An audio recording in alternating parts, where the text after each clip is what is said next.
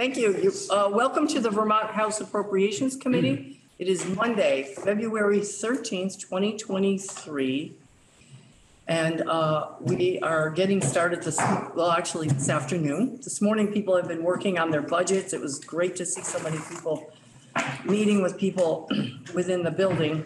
Uh, your chair has been digging into dollars and looking at as, as much as the one-time dollars, you I'll tell people that we should make sure that we're looking at those one-time dollars, as- especially as they um, pertain to your budgets. Um, And a lot of new programs in there that we're gonna need to get some details on. But we'll get started with with you, sir. You have not met everyone here, No, Madam Chair, I have not. so why don't Do we people, introduce ourselves before you get started? So, um, I'm Representative Diane Lanpher. I live in Vergennes and I represent Addison Three. Hi, I'm Robin Scheu from Middlebury. Pat Brennan from Colchester.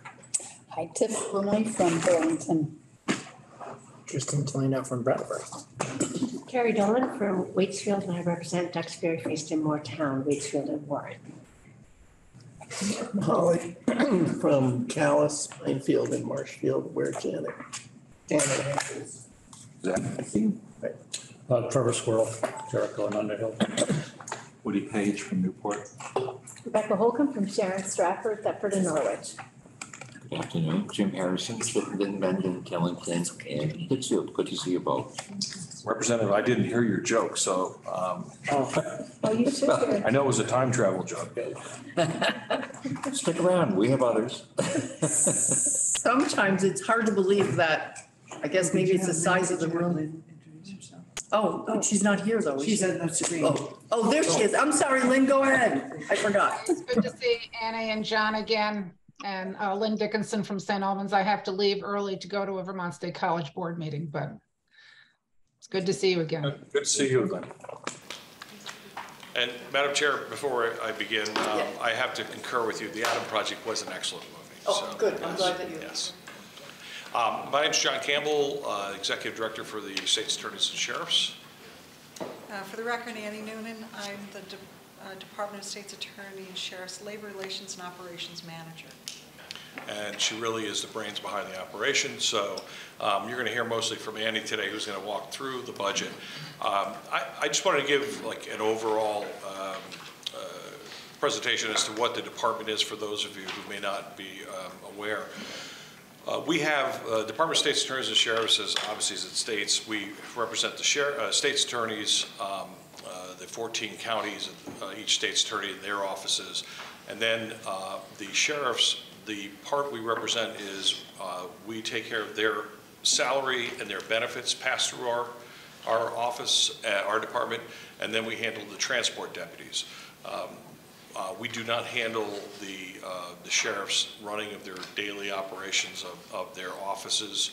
Um, Some people have, have uh, thought that, especially uh, recently, there's been more news about uh, some of the sheriff's departments. And so just to clarify, we just do the, um, uh, the transport deputies and the sheriffs themselves, the, their salaries.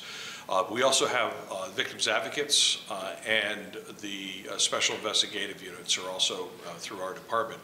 Uh, Altogether, as I said, there's almost 180, uh, I think there are 180 employees. Um, we, right now, we're facing, especially, the state's attorneys really take up the major portion of our representation in the department. And right now, we are facing a huge case backlog with, with our, with all the cases due to not just the pandemic, but uh, prior to the pandemic, there was a a backlog, but it- the, the, uh, the pandemic absolutely exacerbated it. And it's, uh, still has resounding um, uh, issues for us uh, as a, uh, as a department. And the, in addition to that, uh, the cases continue to, to mount. Um, And a lot of that is because of the, uh, the backlog with us trying to be able to take care of um, cases that are older, especially ones where if somebody is incarcerated or uh, if this is something that's hanging over someone's head, you want to get, get through it. You want them to be able to go on with their lives and, and move on. Uh, so uh, the folks that we have working for us are some of the, I mean, some of the hardest working people I know. Um, They, they put in uh, countless hours. Unfortunately, you know, our states, our deputies and state's attorneys, they're, they're handling caseloads of like, you know, 350 to 400 cases, which is, which is outrageous. I mean, it's, it's really, that's how bad it is for, um, And especially when we're trying to do more restorative justice, uh, to me, it- and to also the, the people that I represent, it's been extremely important for us to be able to get people, to work closely with people who have, you know, made, a lot of them have made mistakes, you know, made- they made bad judgment calls. And um, we don't want that to dictate what the rest of their life is going to be, so you try to help out and you try to match them up with, with programming. But when you're handling so many cases, it's hard to do that, very difficult to do that. Um, So uh, our folks are, are, are, they're, they're very dedicated, but when you're dealing with that many cases, it's tough. The, the victims advocates, uh, now those folks, uh, the men and women we have working there, some of them have upwards of uh, handling 800 cases. So, you know, for anyone to think that you're going to be able to get, you know, the, the full victim services, uh, when you have 800 cases, uh, that's, it's pretty tough to do that. And, but they, they, you know, do it somehow. And luckily, they, you know, they're not dealing with every, every case at once, but um, it's still, it's, it's sad to see that, um, that something so important is not, you know, fully, uh, in, in our opinion, you know, fully resourced. But uh, we understand that times are tough and, um, you know, money is short. But we, we, um, we do uh, find that the funding of the victims advocates are extremely uh, important to, to our offices. Um, So what we will do now is I will turn it over to Annie, who will run through the individual budget, and then uh, if there's any questions, we'll entertain those. Well, right on time. I'll turn my phone off. Great. Thank Go you. ahead. Thank you. It's nice to see some familiar faces, and I- I'm glad to make acquaintance to the new folks here. Thank you. Um, So what I um, try to do to make life a little bit simpler is I include uh, for you this one page after each of, there's four of these for each, each section of our budget. So our budget consists of uh, four, four lines, the state's attorneys, the sheriffs, the special investigation unit, and the victim advocates. So I can walk you through just generally, and I had the opportunity, John and I, and Barbara Bernardini, our fiscal manager here, who um, was encouraged to come up to the table and decline, but if you have any real questions, Barbara's also a big part of the uh, brains of the operation. John gives me the credit, and Barbara is really brains here. Um, I had the opportunity uh, with John and Barb today to meet with Representative Squirrell right before we came in, and he gave me some good feedback about some information that he thought the committee would want to see as we kind of um, refine through this. But let me give you the walkthrough as to what we're looking at. So we have four sections of our budget. Um, The largest, obviously, is the state's attorney's budget. We have about 109 uh, full-time employees. That includes the 14 state's attorneys, um, all of our administrative support staff, the victim advocates, and our deputy state's attorneys. Um, This year, the 5% increase that we received in um, the budget from the administration is primarily going to be for wage adjustment. That includes the union contract provisions, health insurance, and retirement. All of those things were going up, um, and that's pretty much where that money is going to go. We will have to carry about $232,000 in vacancy savings, which doesn't sound like a lot unless you consider the fact that that's probably three positions at least that won't be able to get filled during the fiscal year until we meet those, meet that vacancy saving. Um, Some good news I'd like to report on is uh, ARPA money that, and I know that that's, this is just a small diversion, but this legislature gave us um, um, uh, ARPA money to transition our criminal case management system. That was really necessary to do to kind of keep up with the courts um, who implemented a better system and, and we wanted to be able to integrate and talk to that.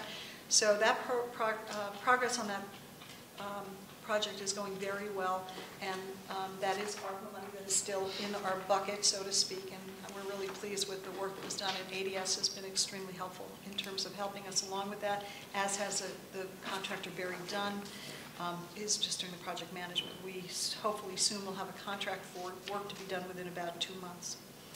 Um,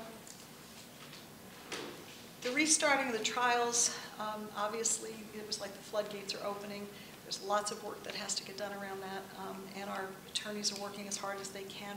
The ask in this budget is sort of really two things in terms of state's attorneys, maybe three, but let me go to the one. I feel like as though we need additional positions uh, across the board. So it's not just attorneys, but it's victim advocates and administrative support staff. Now, one of the things that Representative Squirrell has asked me to do is to lay it out a little bit more clearly as to what we would be looking for. For example, at the bottom of this page, I say, for, you know, looking at it sort of very um, simply, I was, you know, we were looking at, well, maybe one additional attorney, one additional victim advocate, and one additional administrative support staff. But the reality is that it isn't necessarily uh, true that every office would need one of those. Not everyone needs a full-time attorney, not everyone needs a full-time victim advocate. So what, um, what I um, have committed is that I would go back and kind of do a more of a, more of an actual plan as to how we would use, use additional positions and what, why, why they would be needed. So for example, Chittenden County being one of the largest um, uh, field offices, um, probably isn't necessarily uh, an office that needs an additional attorney. They're, they've been, they've been staffed well over the years. But Franklin County, Washington County, Rutland County, Windham County, some of those offices are struggling mightily under the, the weight of their work.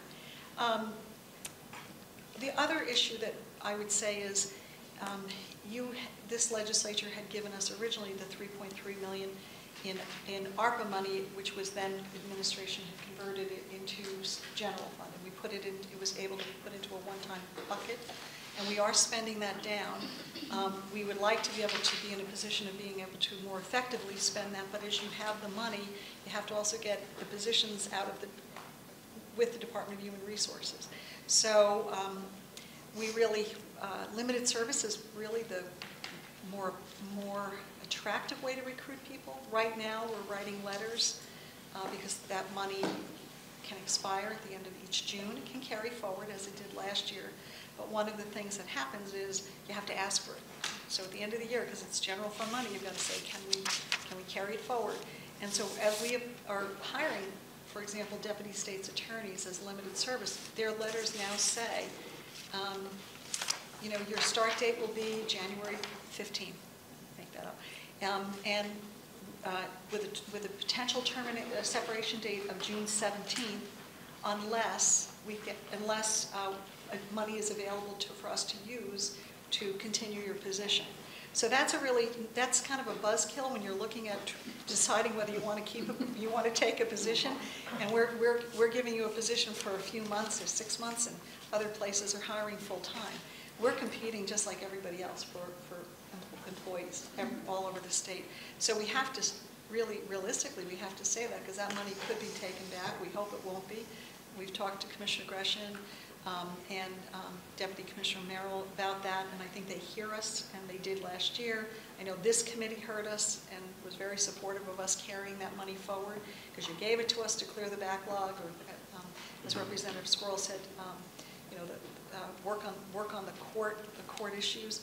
I think we're doing a good job, but it's tough to recruit people as temps when they get no benefits, and limited service when you got, when you've got, we've got to put it in the letter honestly to say, June 17th, maybe you'll stay.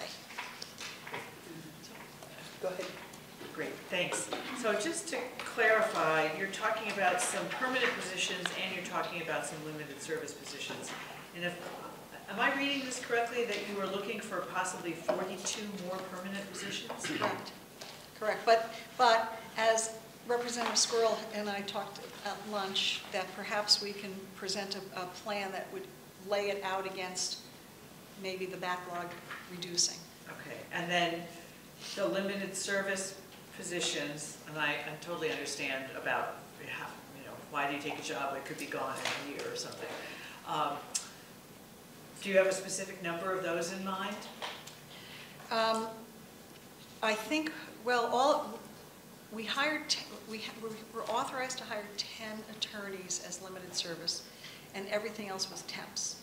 Uh, Six paralegal temps and and 16 administrative support staff as temps. And we're just, those have been tough to fill because they have, as temps, they get no benefits. Um, And they have a a cap of 1,280 hours that they can work. So that's, that's also challenging too. So 16 temps or 26 temps? We had uh, uh, uh, 22 temps Okay. and 10 limited service. Oh, okay. That you were authorized last year? Yes, there were- there was, uh, most of them are still authorized. Okay. So you're not asking for, or are you asking for more on top of that? Well, in order to spend the money effectively, because we still have um, money left from a fair amount of that. I think of the 3.3, we probably spent 1.4, 1.5, so we still have a fair amount of that money we could put towards moving this along, moving the, moving the backlog along. Um, So a combination, and I think that that was the plan that I I committed to Representative Squirrell, that I would bring back a more firm plan, X numbers of temps, or I mean, X number of limited service, X numbers of permanent. Okay, and then the the 42 permanent, somewhere you'll tell us what all that costs. Yes. This is sounding expensive. Okay, thank you. Go ahead. So more of a generic question. I mean, everybody's concerned about the backlog that the pandemic caused. Where are you today? Are we keeping it, I mean, are we gaining on the backlog? Are we still losing ground? Uh, Or are we just status quo? We haven't really The, it, it- it all depends on, uh, we are, I think we are uh, making progress on the, on the backlog, but it's not as, you know, fast as, it's not something you just do, you know, a magic bullet. Uh, The, uh, there are uh, some counties that we've asked uh, that, uh, for instance, Rutland County had, I think, three, almost 3,800 cases backlog, uh, backlog. Um, I don't, if you tried them every day, you know, if you had a trial every day, that's not gonna, you're not gonna do much with that. So what we've been doing is trying to go through, finding some of these older cases that might be able to be dismissed. And um, we just reduced, the, the new attorney, uh, state's attorney in, in Rutland County, uh, we're proud to announce that he uh, reduced it by 20% already uh, since being in there. But we still need, a lot of those are still going to require, you know, the cases that be moved to where you have interaction with the lawyers, you know, to either try the cases or push them towards trial and then work out some type of plea agreement. The problem is that, as I mentioned earlier, that the cases aren't stopping coming in. So there, we're dealing with these uh, acute matters, uh, and then to try to get them to go back and look into the backlog, it's, it's just, it's just really tough. So we need some folks that are going to be dedicated, you know, solely to, you know, dealing with backlogs in the offices, and that's, that's been really tough. Um, And it's not just us, I mean, this is something that, that you, I mean, you're going to hear from the Defender General and also the courts, because it's, we don't, we don't op- operate in a vacuum, so that, the, you know, these folks are going to have to, um, we're all going to have to be in this together. And I must say is that I think we've had a really good relationship uh, with the court and with the Defender General's office in trying to, you know, uh, discuss and, and work ways that we can um, solve this backlog, but it is, it is crucial. Well, and, and related to that, if, if we were to give you the positions that you have the money for, can you even find the lawyers to fill those positions? And that is a very difficult thing, because unfortunately, we're looking at, you know, this is not the same pay as you would get in, in private practice. Um, In fact, I, right before I came here, I, I read two articles where uh, New York uh, and uh, Florida were also facing the exact same problems with, you know, trying to recruit. Uh, Florida, actually, the legislature just went and uh, appropriated uh, 15,000, basically a $15,000 signing bonus on for, you know, for attorneys to go to work for. Um, I'm go- Don't leave us. It's starting to look good. We got Yeah, this you worked do well there, I'm telling you. Sorry, Florida. Yeah, I it doesn't do it for me. Yeah, concrete jungle. Um, Anyway, the, the point being is that it, you know, trying to get them, and then the other, the other issue is trying to fo- uh, fill some of the spots is that if you bring somebody in from out of state, um, they still have to go through all the licensing to get here and to get their bar numbers, so, They need a house. yeah, so that's delaying, yeah, so. But I will say that um, we are in our second con- full contract with, um, union contract with, with the staffs in the s- state's attorney's office. And I feel like that has made a difference in terms of us being able to better take care of, of our staff. Um, Our administrative staff um, have had two upgrades in the past three years, um, and I think that that's, and that's been very helpful. Our um, state's attorneys, we are, um, uh, we went back and we took a look at anybody who perhaps did not get any prior service credits or credit for their prior, for their ex- relevant experience, and we, through the union negotiations, we were able to take care of that. I want to say it was pay equity, and it really was in some cases. But the reality is, is we worked collaboratively with the union, we took care of all of that. They were very pleased about that, and we're doing a much better, I think it- the word is out there that we're doing much, much better in terms of taking care of our own, our own staff in this Well, regard. Yeah, one other thing, though, I think it- I- I'd be remiss if I didn't mention is that, you know, each year when the legislature comes, obviously, they come up with new laws. And um, over the past couple of years, there have been several new laws that have really uh, caused additional um, uh, impact, created additional impact on, on us. And we, we got some of the positions, obviously, when expungements came through, there was um, some, there was appropriation there, but they're exploding. I mean, to the point where we, you know, you're, you're getting more and more and more. And they're, I- it's not that they're complicated, they do take quite a bit of time. They're not as, some people say, oh, it should only be 15 minutes apiece, which takes far longer than that. Um, But we're, we're also finding that we're having a lot of uh, additional problems later on because some of the people who are getting their records expunged are now coming back and saying, well, we need our records because we are getting licensed to do this, and then we just have to say the records don't exist, because they don't. And so our people are getting tied, we- we have a couple cases dealing with that. um, uh, That, and then uh, public records requests have just gone through the, the the absolute roof. Um, Tim Dumont, who's our new, um, we just, we just brought him on, um, an Addison County native. And uh, Tim's doing a great job, but he's been absolutely barrel under, with, with the uh, public, ser- uh, public um, records requests to the point where he's working till like 10, 11 o'clock at night. Um, And uh, just trying to handle them and redacting all of the information that needs to be redacted. And so things just aren't getting simpler, let's just say. So I don't mean to totally stop you, thought it was a good breath. Representative Mahali had a question, and then I've got just a clarifying question to ask. Yeah, just help me out here. Um, So the 42 permanent positions, that's, that's a denominator against the, numer- or a numerator against the denominator of how many? I mean, what's the permanent staff size of, The permanent staff size of the state's attorneys is 109. We have 14 offices, and this was really, honestly, overly simplified. It was a one, one additional Yeah, position yeah. for each office, one additional attorney, one additional victim advocate, But one is- additional. Is that 109, in other words, it's 42, let's, let's just take the 14 deputy state's attorneys. How many deputy state's attorneys are there now? That's, that's 60. Okay, so it's 14 over 60, all right. And I guess the other question, I think I know the answer, but I'd like to hear from you, is if this is a backlog, these are being hired to address a backlog, why are they permanent positions? Why aren't they temporary positions? Because presumably, at some point, we're going to be through the backlog, although it might be a while.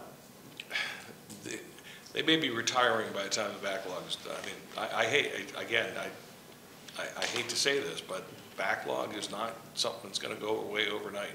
And, um, you know, people have looked and they'll come up and they'll say, well, why don't you just take off, you know, knock off, you know, twenty percent of the cases? Well, we were fortunate in this one county to do that because he went through, he was able to go through and to see, you know, nonviolent crimes, people, were, you know, crimes, uh, cases where there was not a victim, but there's always that victim because you got a business. Uh, Jim Harrison, you know from your former position, um, retail theft is, is, is just knocking businesses out of business, right and left. Uh, So it's hard for us to do it. There's people who would say, why don't you just take all the fish and game violations and just do away with them? Well, that's okay for some places, but, you know, if you're in the Northeast Kingdom or if you're in some other spots that feel like those are really serious issues that we as a constituency feel are important, you don't want to see that happen. So, um, eh, but the biggest thing is, is the fact that there are, um, we're finding that the, a lot of the, the names of the uh, defendants, let's say, um, you're seeing the same ones over and over, uh, many of the dockets, and you're seeing, you know, generational issues, um, which is, is, kind of tells, it- it's a telling story, um, unfortunately. And so it's not as simple as just going in there and dismissing a case um, and trying to get a trial uh, going forward and and asking, um, you know, there's times when, let's say the prosecutor say, fine, judge, we're ready for trial, as you know, and the attorneys here will know. And then you'll have the defense say, well, Your Honor, I need a continuance because of this. Um, There's discovery issues, you know, that, that, that, because a lot of people during, you know, the pandemic, uh, they sort of everybody was sort of wait and see, like, well, why should I settle my case right now if I don't know what's gonna happen, I mean, if, if, if can't get back into court? So, there's, a- I guess what I'm trying to say is there's so many variables to this one issue that, that I can tell you, I just do not see that the, that the backlog problem, unless we address it, unless you all address it, uh, help us address it, not just us, but also the court and Defender General, um, it's gonna be, um, it's gonna be with us for a while to the point where I, I was, I was kind of kidding about saying that they'll probably retire by the time, but who knows? So I think my, my question too was around that same thing, was, okay, there's, your, the 42 positions, the the one, one, one, somebody, okay, you're going to come back with a plan on that. I will. But the 32 That that are the currently- 10 attorneys and the 22 temps are outside of that, obviously. Correct. Okay, and they're part of the 3.3 million from last, and so there's enough to pay for them another year. Um, Yes, there is. Okay, so for 24, and they're dealing, they're here to help with the backlog, right? Correct. Okay. So it'll be 25 when we need to really address that gap as well, right? Am I seeing that? Because it, I, I, that is, I think, correct, but, if I can, but, um,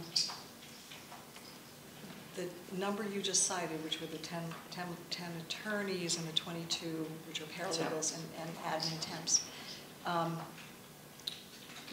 um, our issue right now is just we really could need, we could use more positions. I know that sounds, sounds counterintuitive because it's hard to fill these, but if we had more limited service, uh, at- I think Representative Squirrell said that to me, would, you know, they- they're easier to fill if they're limited service. Absolutely, because they have some benefits. Right now, the vast majority of what we received were temps, and that, those are tough to fill.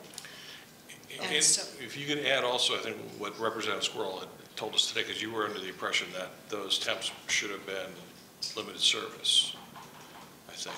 So you'd like to That is convert right. some of that conversation, those 10 and the 22? There's some research I still need to do on Okay. this because when we were having a conversation this morning, I learned something that I assumed was different, Okay. so I need to. Well, that's why we all And come that's to work. Yeah, and I don't want us to testify something Yeah. that's not It accurate. was my so- assumption that when they made them all temporary, when we passed the court reopening piece, that we converted them all to limited service.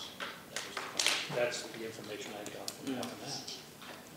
And so, And I want to make sure that in my mind, I don't think, oh, 32 are already there, 42, you just need really 10 more. That's not true. You need the 32 for this and 42.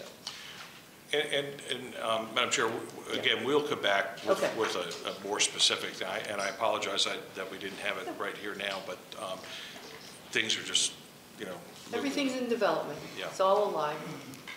Right, Okay. okay. All right, so that's essentially state's attorney. If we can move on, if you want to try to grab your sheet on the sheriff's, I believe that's the next one. So there is a mistake on that sheet. I listed that, that the increase for the FY '24 was 2.9. Oh, I'm sorry. What, what page? is Uh, that? that would be- That's, um, okay. Yours are not passing. So if you go to the next section that starts with a Yeah. It looks like about page thirty, Mark. Thirty? Thank you. Well, it's twenty-two, then we're at one of fifteen sheriff. Yeah, Go this about, is go about sheriff. three pages and you should find it. Got There it. you go, okay, great. So I had listed it was 2.9, and I apologize, it's actually 4.8. I didn't mean to make that mistake, but I did. Um, I'm sorry, on the crosswalk is 4.8? Yes, yes. Yeah, that's correct? That is correct, Madam Chair. Okay. Okay. So all of the money in this budget um, for the sheriffs is general fund, state general fund money. As John said, it pays the um, salary and benefits for the 14 elected state uh, sheriffs and the state transport deputies. And I'll just refer to them as state deputies. Those are the folks who move people, um, pick people up at the facilities and bring them for their court hearings, and they assist in other, a variety of other activities. Um, The interesting thing uh, is that there's just a tremendous request for more assistance, not less, from our, our transport deputies. They're doing a lot of work with the judiciary in terms of court security and with human services, monitoring juveniles that need supervision um, before they find a placement for the kids. Um, we're getting requests for assistance to OCS for child support, um, and a recent request even from DOL on some civil process issues. And If I could just interject for a second, the, again, our, the state transport deputies, they are statutorily just assigned to um, transported prisoners or um, juveniles or, you know, for also folks who are, have um, issue with the uh, mental health, Department of Mental Health. But because there are so many other problems that are existing out there right now with other departments and agencies, whether it be AHS or DOC, um, they're asking for things that we've never done before. And as Annie just pointed out with even the Office of Child Support, they're asking us to, to help enforce child support. And, which, and I'll throw it back to you. So, um, and so it's just sort of an interesting situation because as the conversation is occurring about, you know, what's the future for the sheriff's departments, I just want to point out that um, there's an awful lot of work that's being done by not only our folks, but the sheriff's others, that what I would call their per diems, but they're, they actually work for the sheriff, not for the state. There's a tremendous amount of work that's being done in rural policing in Vermont and other work that gets done by the, by the sheriffs. But our folks primarily um, are doing the transports and doing all these other services. We're trying to really help the judiciary. We've been very much supporting the judiciary and human services for the past few years particularly.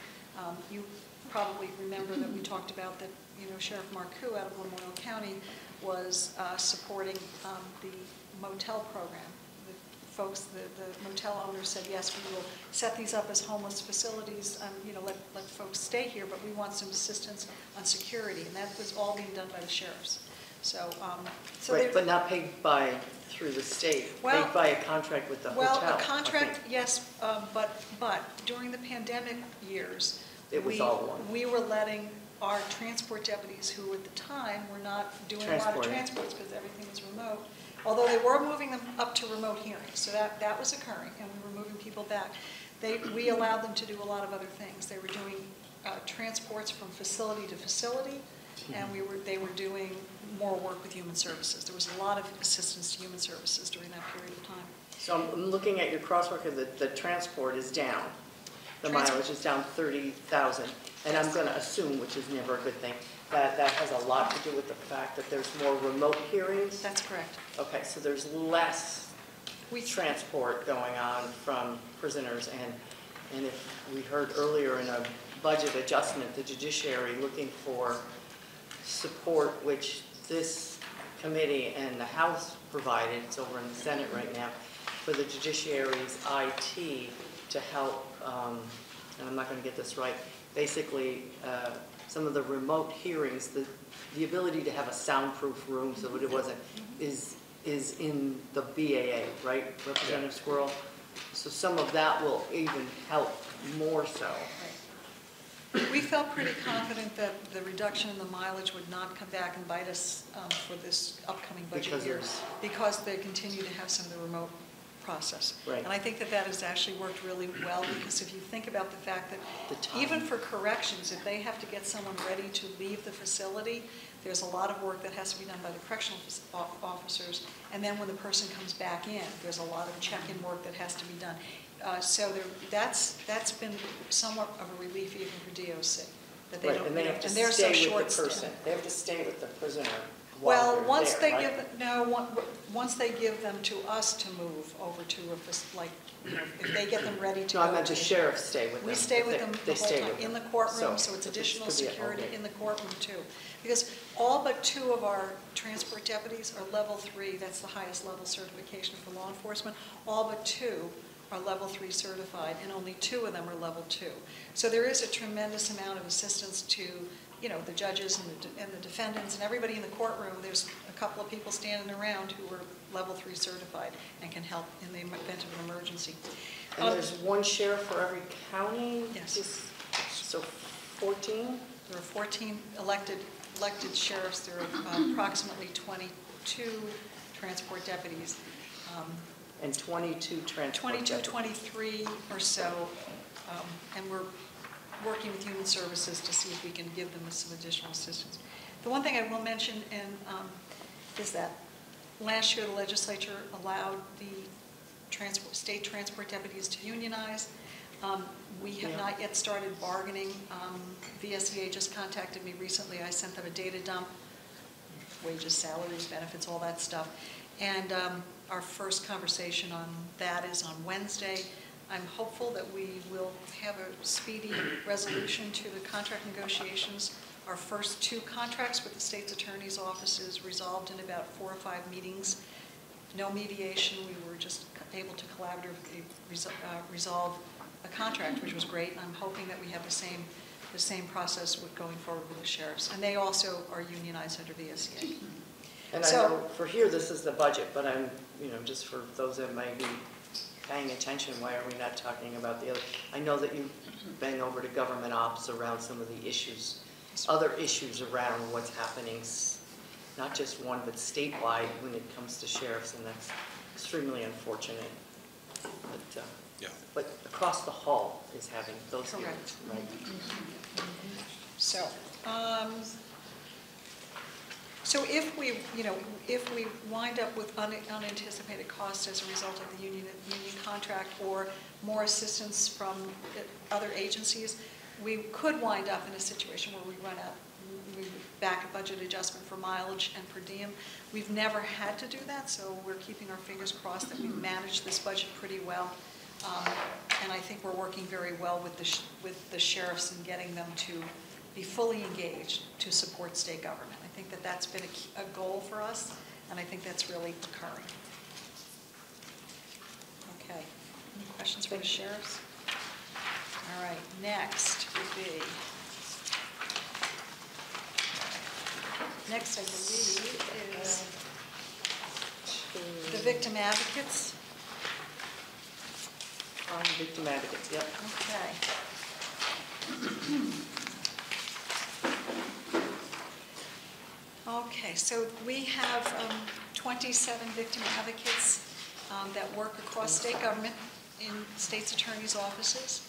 Um, They provide uh, victim support and assistance um, that- for everything from explaining the court process, making sure people know, the victims know what's happening, because it's a really complicated situation, and for, for people who are not familiar with the criminal justice system, they assist with um, making sure they know all about victim comp and victim restitution and other services. You know, there's a lot of communities, in, not in all areas, but in a lot of areas of the state, there's good resources for victims, and so they are really in tune with all of the support system in the, in the communities. They make sure that the victims know about what's available to them. Um, But they, it's, there's a lot of um, making sure that they are fully aware, uh, victim statement to the judge, all of that. Um, So our victim advocates are really, as John said, are very engaged. They, if you think about the fact that an office might have five full-time or six full-time attorneys who all have the, John, as John mentioned, 350, 400 cases, and you have two victim advocates. So figure that one out. They've all, a lot of those cases have victims um, who want to know what's happening. So our victim advocates have a pretty, pretty heavy workload. Um, They do a great job. This was the first year for this line item in our budget, um, for, I'm sorry, yeah, FY '23, because we were funded by federal money, as you might recall, this committee would probably recall that conversation. We were Oh, funded right. by federal money, and then um, um, CCVS requested state general fund, the state general fund came to us. So we feel like, um, we're hoping, we're keeping our fingers crossed that we're going to end up this fiscal year being able to make sure all the bills are paid around the Victim Advocate Program. Um, But not sure exactly, and if we have a problem, we will let you know at budget adjustment. Adjustment. Or, what is that? Is that, do you have a question? Yeah, um, what, why the change from federal funding to state funding? So the, uh, the Vermont Center for Crime Victim Services, CCVS, um, for uh, a number of years, for folks here who might remember the prior director, Chris Fenno, um, and then um, uh, she had approached the legislature and the administration about uh, saying, we would like the program to be funded by state money. What's the advantage of, of that? I, you know, I don't want to speak for them. I think Okay, well, I, and I can take it offline too, if that is helpful. It just seems to me if you got some federal dollars available, you know, you, we split it, uh, whatever, okay. Representative Squirrell, did you? Yeah, I mean, it goes back to the Crime Victim Services and the federal funding coming through VOCA, which is the Victims of Crime Act. Oh, Victims of Crime Act, VOCA.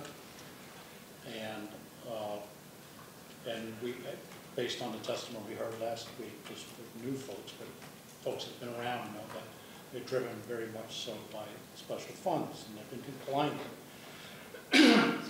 And the Victims Advocate Program that's in the state's attorney's office is funded from the Crime Victim Services Special Fund, which is the VOCA fund.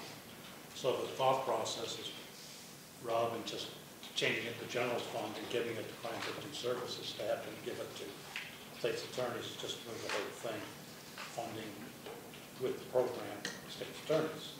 Make it general fund, that way the VOCA money could help offset the funding shortfalls across all the special funds that they were experiencing.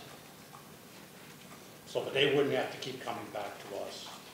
So there's to not a backfill less, Their special. it's not less federal dollars. We're not leaving something on the table. We just, Exactly. we just Okay. shifted, okay. That- That's what I didn't understand, but Yeah. thank you, Okay. Trevor, I should know that, but. I, I will point out, and we've had this conversation, that there's no personal services increase in this budget, and I, I question that. Right. We'll need to have a conversation with, with Adam, I think, about, Right. about why that is. It It's doesn't- down two point six and, up, yeah, right? Is that the, the other personal services? Is that what you're, Yeah, what is, that's all my question is, okay. the same. Well, What is the down 2.562? I see it's level funded, the salaries are level funded, right? Yeah, I'll, I'll have to ask them to speak to the crosswalk and why Oh, it's set up that way, but, uh, but the reality is, there's no, no personal services increase in this It's like budget. sixty-eight, the- re- exactly. Level funded. So it's really, Oh, go ahead. if I'm correct, Barb, I'm just, it's really was just a, a, a budget line shift, was it not, Barb? Come on, can you, this is Barbara Bernadine. Oh, from other personal services to salaries and benefits? Yes, because this is actually the first budget written for our department. Last year, it was switched during the fiscal year. So the down was last year's. 22s, Twenty, twenty-three, FY twenty-three? 23, yes. So basically, what we received in the budget was salary and benefit, not, not, and nothing else. But as Representative Squirrell pointed out, we don't have, it doesn't account for what we know is coming forward for the, for the increase. We have a two percent across the board July increase coming uh, through the union contract and a thousand dollar non-recurring bonus, which is, lines up exactly to what the executive branch did also. So that's not in here, um, and it needs to be. Yeah, they just didn't put it in, did It they? wasn't, it wasn't put in? I mean, is that, is that this? wasn't in our target. This wasn't given to us as a target. So, Um, so we need to go back and Yeah. get some of that in- Will and- instituted in. Okay, so when you, when I see on your sheet for this, uh, funding for FY '24 will not cover costs of union contract provisions for Correct. victim advocates. Is that what you're talking about? Yes, there's no money in, there was no money allocated. Okay, in but you terms did allocate it in the previous budget for the, Well, you yeah, said it was in there. It's You knew sal- What you anticipated. Yes, yes. so we do need to go back and get the 20, the 24 budget fixed because it doesn't include what's coming forward Yeah. for next year for the contract. So we don't actually have the right numbers. Correct.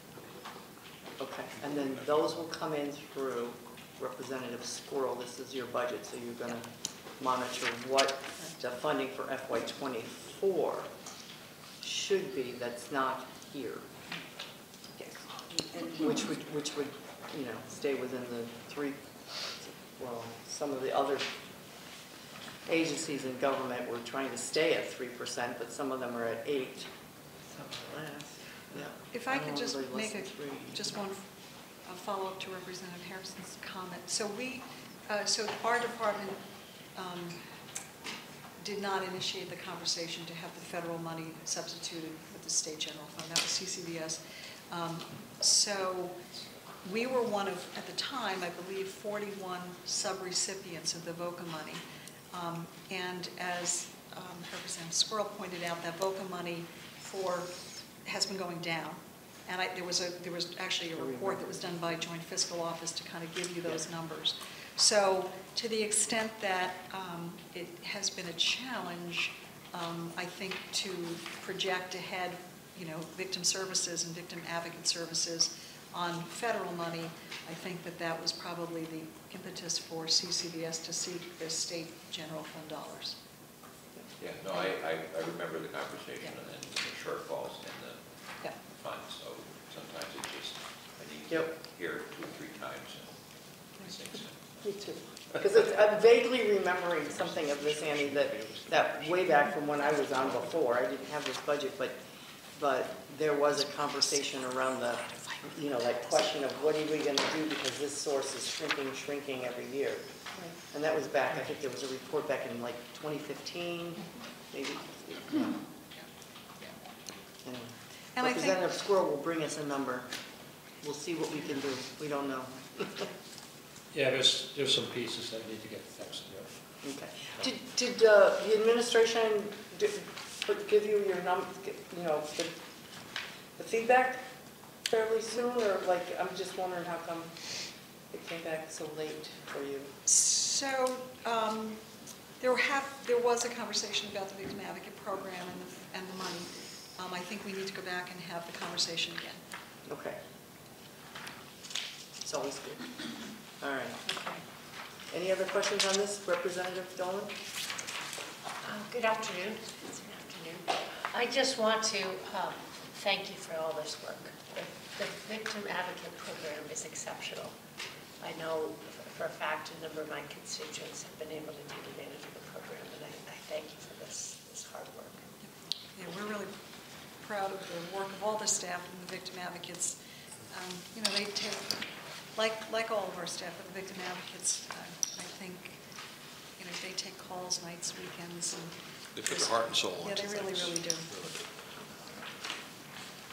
Okay, and then the last piece, again, if I can move you forward to the next sort of special sheet, is the Special Investigation Unit. Um, So what this, this is in our budget, but other than the fact that there's one staff person who is not a state employee, never has been, it's been a contract position for a million years, it's the grant administrative program, SIU grant, pro- grant program administrator manager. That's Pam Hango, she took over for Mark Mateer, who I think a lot of people remember Mark for years. Um, And Pam, um, so uh, Pam works with all the SIUs. There are 12 special investigation units across the state, not, not one in every county, but I think uh, Grand Isle County works with Franklin and Essex works with all Orleans. So there are 12 SIUs. Um, The money, uh, there's a grant manager position, and that's what the 62,000 is. And other than that, all that money goes out the door to support the SIUs. And it- there are two types of grants. There's program support and law enforcement. And the program support would be for the um, SIU um, local administrator, the, the, um, um, maybe, maybe the person who's uh, um, the program director at the local level may in fact have a forensic interviewer. Um, uh, They may have that skill set and do both. They, so usually it's, so there's program support money, it can help with rent, it can help with um, supplies and equipment, and it can help with salary for the admin support for the program. And then the law enforcement grants are also given to each of the SIU, and then they they work with local law enforcement, usually to have um, a reimbursement, so to speak, for support from the law enforcement agency. Um, So, for example, they might, um, they might contract with a- a municipal, uh, they, or a sheriff to provide law enforcement support to the SIU. So they tell us what they need. Um, We, they propose a budget. um, And generally speaking, the law enforcement grants are a total about 120,000, sometimes a little bit more depending upon if there's uh, money that's able to be reverted back and we can give it back out again. And the program supports are usually in the, in the realm of about, um, uh, usually about, about the same. So we, act- a little, actually, probably, um, um, the program supports are, are, are, uh, uh, I'm looking at Barb, twice a year, out, twice a year. So, um, the biggest challenge that they have, we're not worried about the money, we think that that's working okay. The biggest challenge that the SIUs have, SIUs have right now are finding law enforcement people to, to be able to work the units. Because as the law enforcement agencies are themselves um, challenged with staffing, they don't want to dedicate someone to the SIU necessarily. So if we can contract for an actual person, that's even best. If we can actually say, we will, we will buy, you know, the- all of the time of your deputy sheriff, of your um, municipal officer, we will purchase that, and then they are dedicated to us. But, um, e- you know, it's really challenging. I mean, VSP has been a great support to this program. Um, The sheriffs have been a really good support in the municipals. They've all been very helpful, but like even, you know, um, state police have had to pull back because they've, you know, Right, for full-time folks. That's just what we're seeing. This is no different. Their big challenge is not the money, their big challenge is bodies. And you have to be um, level three to investigate sex crimes. So again, these are some of the worst crimes where we're dealing with sexual assault and uh, crimes of uh, serious child abuse. So they are, I Yep. consider to be some of the most critical uh, investigations going on in the state. So there's one employee that grants out to the 12 SIUs, and those 12 uh, special investigation units are made up from law enforcement across the state that, that, that get an average of about $120,000 a year to be a part of it. And then there's another program support, did I? I mean, So I- program support for administrative, rent, equipment, and then the law enforcement grants, separate, yeah. And the other grant, I know. So So th- they're not, there's no issue with the money, our issue It's there is just just the that- staffing. municipalities, law enforcement, and other people are not, don't have the numbers to be able to be, have a Right. dedicated piece to this. But it's critical that we have. a- There is some really good forensic interviewing training that we support through this grant for um, law enforcement and social workers and a whole bunch of people that deal with these issues, uh, kind of crosswalk of, of, of um, state agencies and federal, you know, state and- and local agencies. So forensic interviewing is really critical in this because you just can't go in and start talking to accused and Yeah, abused. It's highly specialized, and if you don't have it, then you have a, a very good chance of losing your case, Yeah. or not being able to build one to begin with, so, You know, Yeah. or re-victimizing a kid who's just been Right. abused. yes. So you have to be very careful. So the forensic interviewing piece is really critical here. But there's, the, the good news is there's no, there's no ask there. It's just to, just to share with you what's going on. We always want to tell you when for- you're not asking for something, so. We appreciate it. Thank you, thank you. So our time, we've got two minutes with you. Any other final questions? And if not, we'll filter our questions and we'll get more information um, from you on, on, on other numbers from Representative Squirrell as he continues to work on. He's got a large portfolio. He's, And, um, Madam Chair, if I could apologize again to you and to the committee for not uh, having those with the Victims Advocate, you know, not having that specific um, numbers there or how they're set out. I appreciate you coming in. We're trying, we're trying really hard to get everybody in before the end of next week so that we've got the big picture before we make any types of decision. And as you know, having people come in and tell us what's going on is how we find out. Things that we don't find out from just looking at the paper. So you can adjourn in three weeks, you know? Absolutely. I could do it by Friday if you just let me leave. But somehow, sir, they won't leave me alone with it. Well, thank you very much, uh, and welcome to the new folks. And I, I can tell you, after having 16 years of sitting where you all are sitting, I can tell you you're going to have a great time while you're, while you're here, so. And you got a great chair. Great people on the committee. Thank you. Thank you. Bye-bye now. When he was, when the senator, when I worked at the health department, it was Senator, um, when I had to go into Sears's room, I think he was vice chair at the time, and it was really funny. I thought, this guy. Senator Cameron. Is that what this is? Well, there's three of them in here, right? There will only be two or five on this, on your sheet. On that, yeah, but it's a bigger sheet. All right, we won't move, right? We're all just gonna stay, stay put? Let's check. Ethics Commission. Are you, come on down, when you get, when you get comfy. We're still live. Thank you for the handout. And are you Christina? Yes, I am. All right. Christina, I don't think that you have met our committee, RSU yet. You haven't been in, Uh, no, I was here last year um, when everything was remote. but everything is so different now. So many people are new, so why don't we, we've got a couple holes right now because people are off meeting with budgets and things. But uh, we'll go around and introduce ourselves before you start. So, um, I'm Representative Diane Lanpher. I live in Vergennes and I represent Addison 3.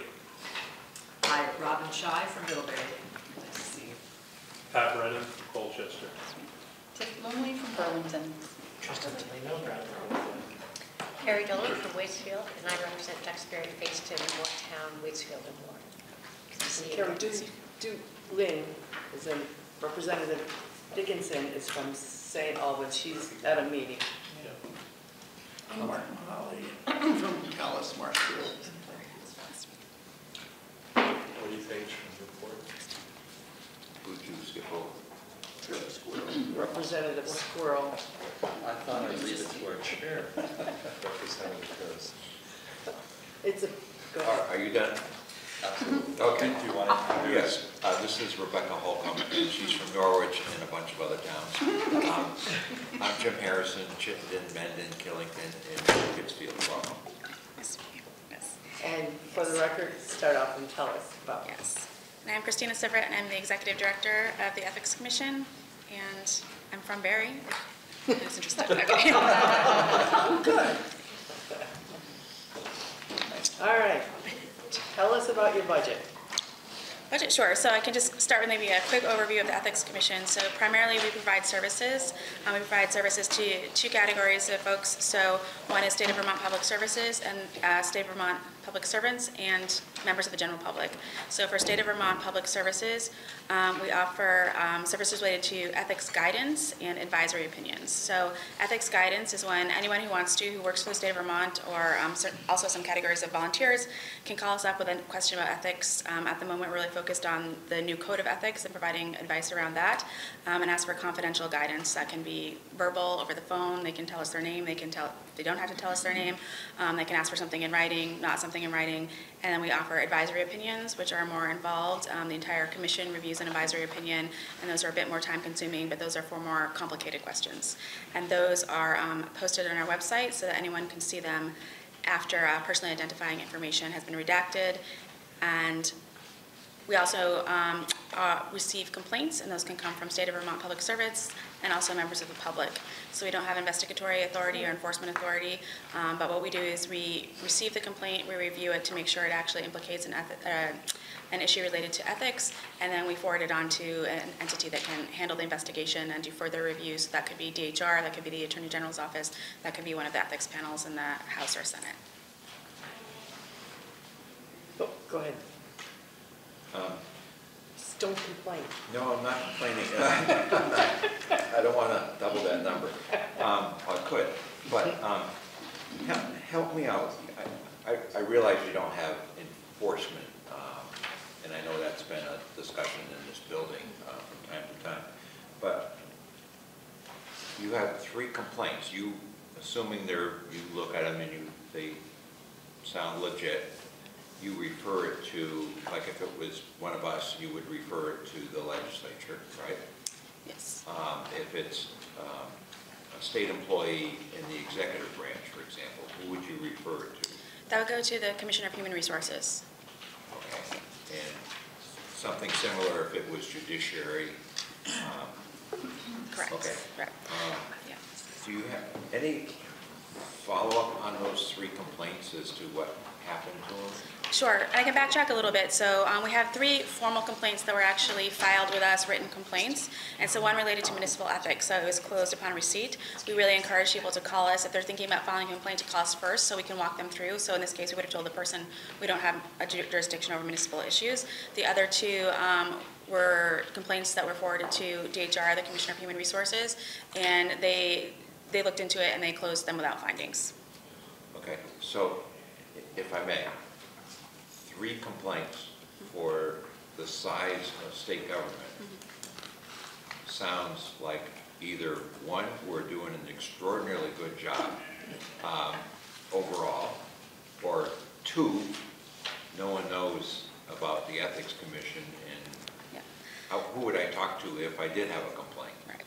Right, and I think that there's two things going on here. So this year, I changed, we changed how we categorize complaints. So in the past, we categorized complaint, in- what I would call now complaint inquiries as complaints in our total numbers. So I think this past year, we had about 12 complaint inquiries, which are people who called, um, interested in making a complaint. We talked through it. In some places, they weren't related to, you know, they weren't issues that fell under the code of ethics.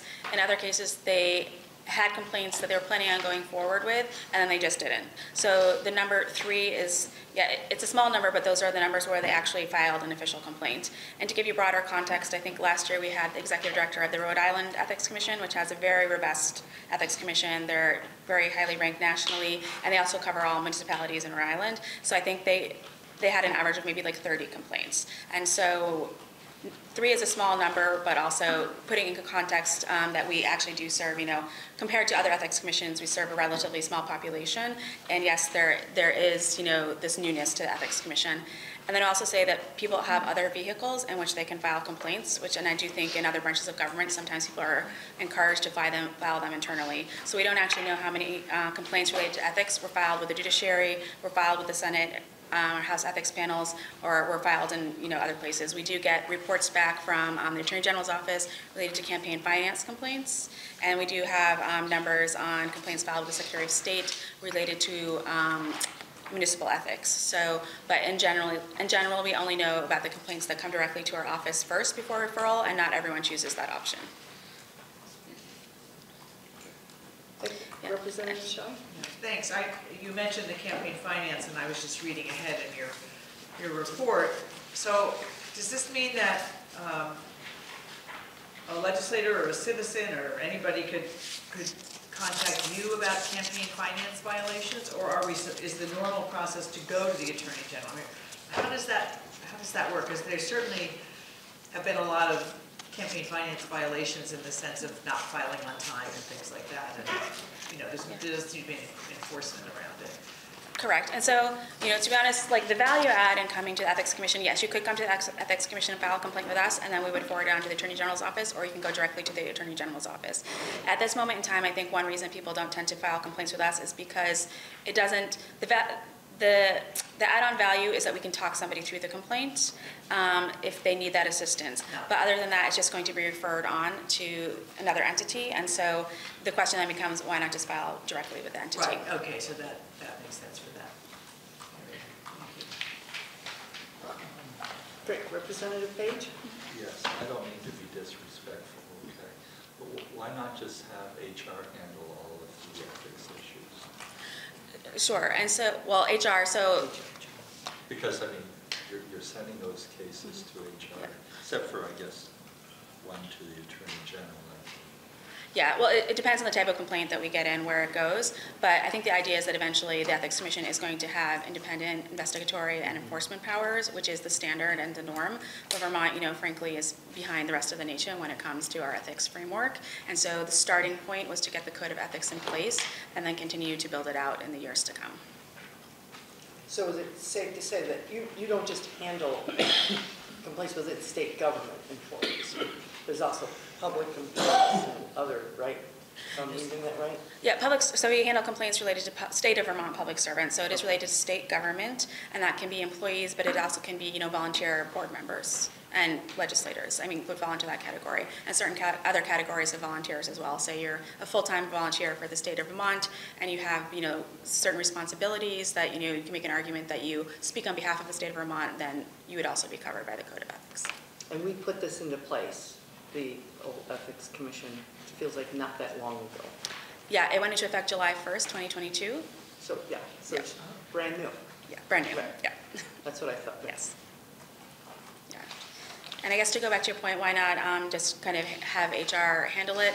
Well, the idea is that, you know, to have a real thorough and independent investigation. So right now, you don't want people to be investigating themselves in the sense that it's not a best practice in terms of, you know, getting to the bottom of the issue.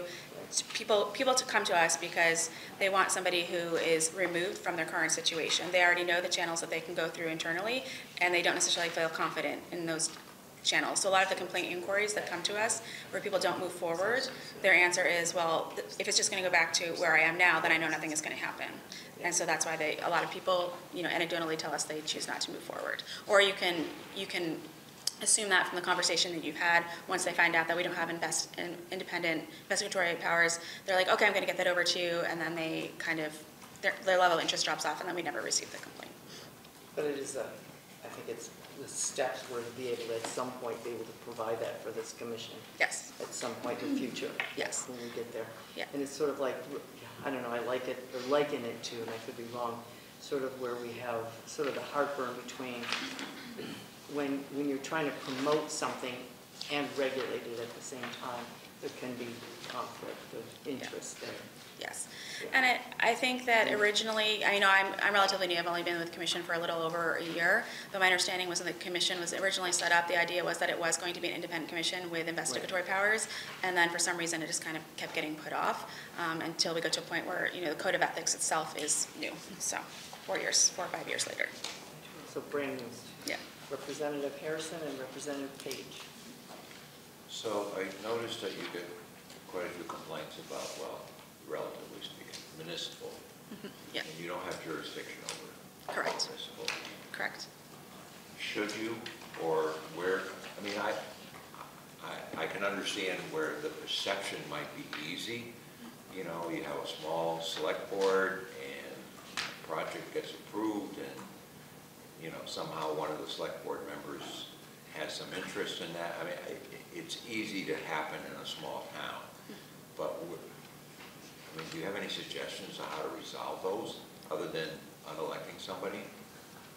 Uh, Sure, so I can tell you that the category of calls we get related to municipal ethics fall into two categories. So they're from municipal issue, uh, municipal officials themselves who um, are interested in making a complaint because they feel, they see something they feel is happening that they think is wrong, and, or they're looking for advice.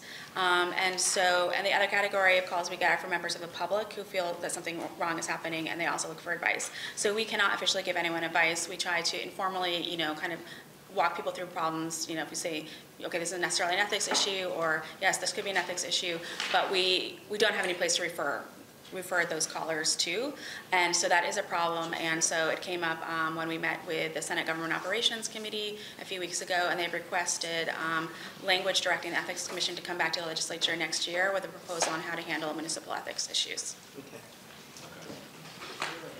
Where, where are they handled now? Is there anybody that handles No, municipal no. ethics? Nobody in the state handles municipal ethics. Well, the Secretary of State's office, I think they can provide some services, but they are limited. I don't have a full understanding of what they do. It's- My understanding is mostly what I hear from callers. And then there's the Vermont League of Cities and Towns, which really represent the municipal officials. So if somebody is in a conflict internally where they feel like, you know, one member of a select board doesn't feel like something is happening that's correct with the select board, then, you know, the Vermont League of Cities and Towns represents the select board and not that individual.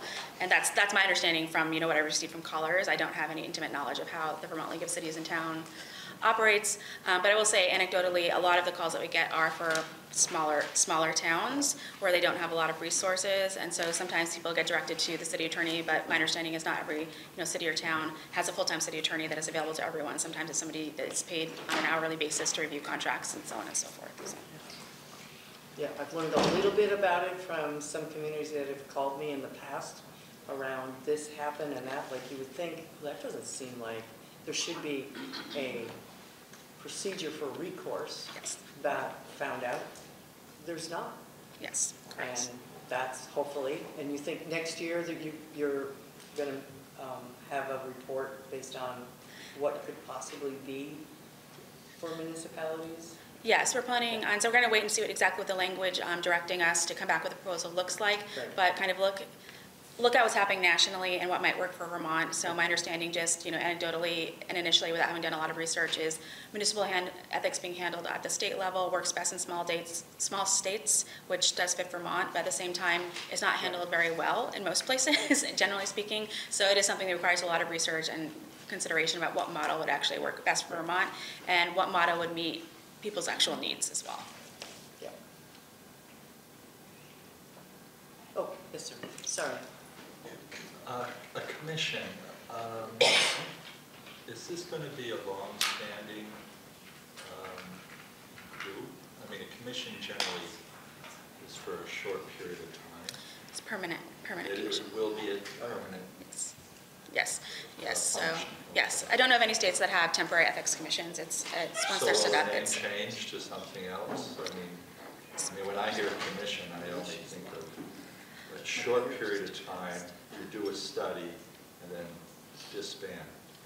um, well, I think they can take different forms, but I'd say, uh, like State Ethics Commission is, gen- tends to be the name, you know, in other states as well, even though they're, they're permanent organizations. And and if you do get investigative authority later on, Mm-hmm. um, what would your budget futuristically, um, thinking ahead, Yeah. what would it be compared to now?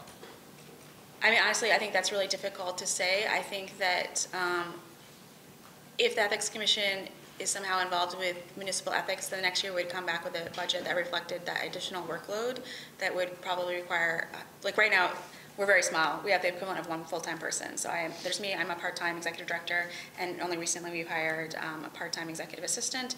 And so to take on much additional workload at some point in time, we would have to hire at least one more full-time person.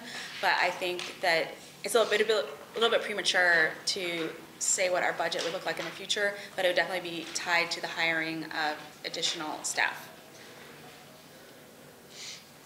Well, uh, I know that people from, they, citizens are looking for accountability and places to, to have in process for accountability of their officials and, and I welcome this work and continue to work, work with government ops and others on this.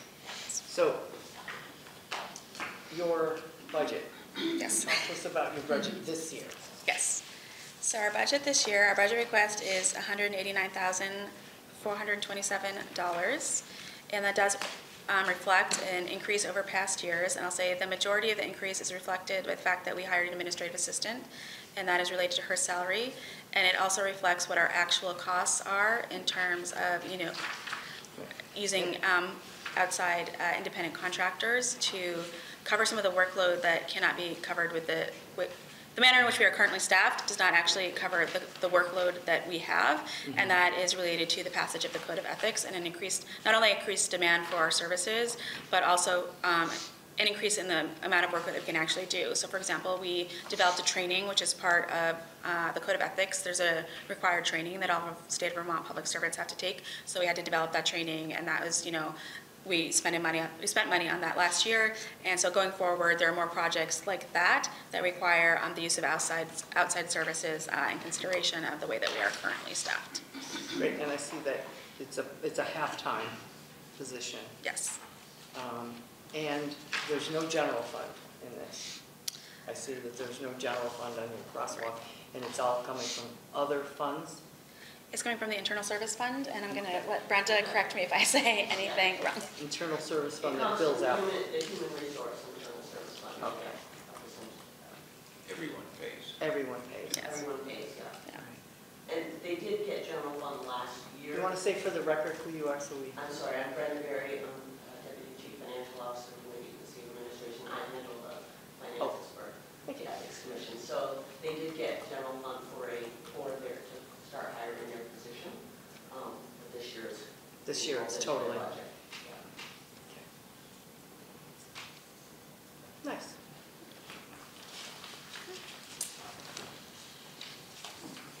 Any other questions?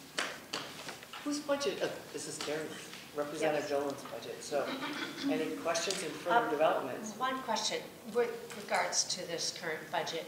You mentioned about the training, and I I presume that's training associated with the code of ethics. Correct. And, and the responsibilities of the three branches of government regarding the code of ethics, is that correct? Correct. So um, we developed a code of ethics, training on this code of ethics, which is available online. And so it's available through the learning management system um, with DHR. Uh, So we worked on the substantive uh, content for the training, and they worked on the technical side of things. And they also have experts um, on their team um, in terms of like how to develop training, so it's more, you know, interesting for folks. Um, So that training is available to all state of Vermont public servants. If you don't have access to the learning management system, you can take it through our website as well, but we strongly encourage people to take it through the learning management system. And um, I presume it's mandatory? Yes. Is that the only type of training program that you envision you would be providing in terms of a, a ethics commission? Or are there other opportunities that are, we're falling short of in terms of raising awareness, training to ensure that we have a full and comprehensive suite of, uh, of ethics in, in one place? Yes, and correct. So this was our starting point. So before there was no, you know, formalized uh, ethics training um, because we didn't have a code of ethics in place. So it would have been just a very kind of general, general ethics training. Now it's a specific one. And so what we're doing now is logging the requests that we get for advice and the complaints that we get and the issues that they relate to.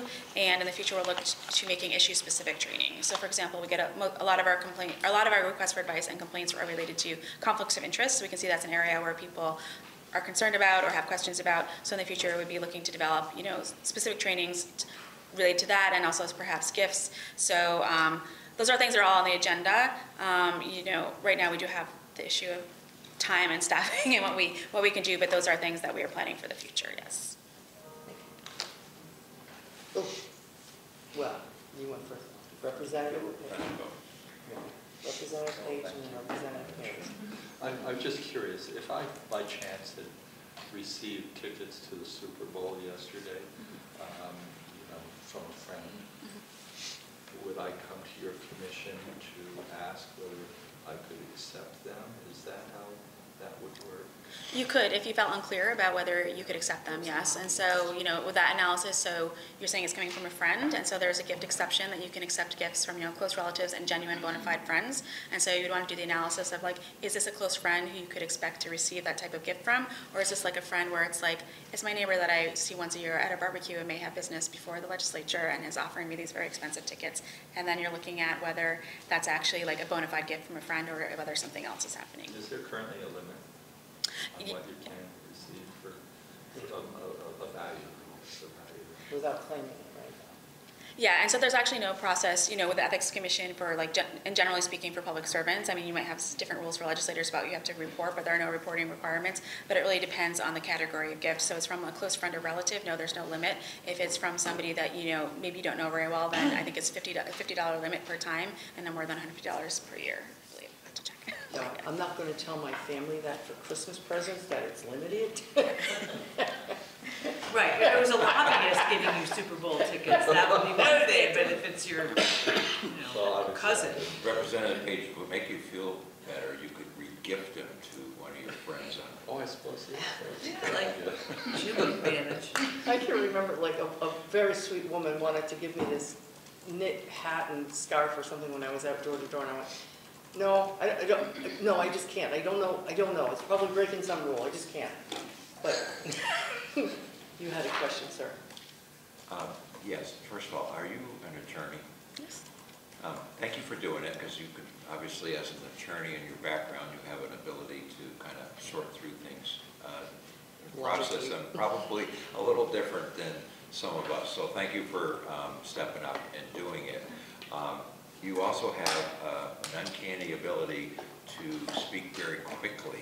Um, My brain doesn't allow me to, to do that. If I tried to do it, the words would get ahead of what I should be saying. So um, anyhow, all good. Thank you for coming. Okay, no problem. And it's been a problem since elementary school. My elementary school teacher has told me to speak slower. It just hasn't stuck, We have an stuck with me yet. Anthea, that is incredible. She can, she's, I, wa- I listen to her at half speed, so I can take notes. Just Because when you give somebody 15 minutes, as someone who speaks fast most of the time, I get it. All right, we'll close out with you, and then we're going to have a break. How do we compare with other states? So we're quite far behind in the sense that the Ethics Commission does not have uh, investigatory powers. We're behind in the, in the sense that the Ethics Commission is quite new, and we're behind in that the Code of Ethics was just implemented. So we are at the beginning stages of building out the framework. Um, So that's where we are. I mean, I'm not saying that, you know, we're terrible or something. I'm just saying that we are in the early stages of building out the ethics framework in Vermont. Thank you. Great. Thank you. Thank you. You're free to go. Okay. Thank Um, All right, committee, we are off to 2.30. 2:30. All right, we have to go off live. We'll see you at 2:30. Who's ever listening? Welcome back to the Vermont House Appropriations Committee. It is Monday, February 13th, 2023, 2:30, and we are um, here blessed to have with us the Department of Liquor and Lottery Commissioner uh, Knight, and with us also is the liaison from Government Operations Committee, uh, Representative Birong is on Zoom. Both are on Zoom. Your chairs look a little scarce, but glad that you could be with us this way. Um, This budget is Representative Harrison, so if there's any follow-up questions or things, uh, Commissioner, we will, we will funnel them through Representative Harrison so that you don't have to hear from all of us, but we, we do so like to communicate. So we have before us the Department of Liquor and Lotteries 24 budget proposal. We have hard copies, and if anybody is, is tuning in, you can also find these documentations online on our webpage. We just had an, an interesting phone or noise that just went off just to make sure we were keeping up with the beat. And it wasn't coming from that side of the table either. Oh, oh!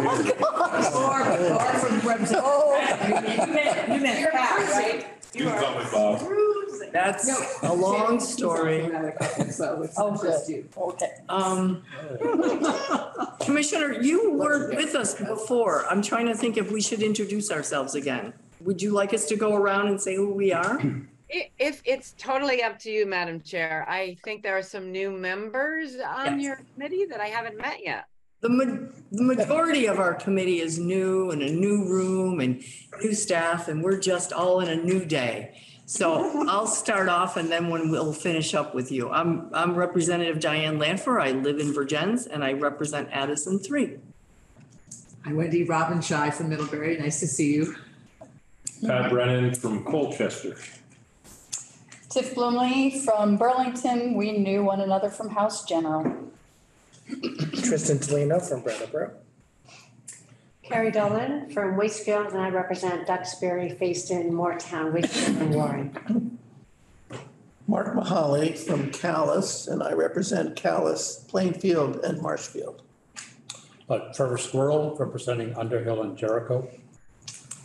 Woody Page from Newport, and to my right, who's not here, is uh, Representative Rebecca Holcombe from Norwich. Good afternoon, Commissioner. Jim Harrison, Chittenden, Mendon, Killington, and Pittsfield.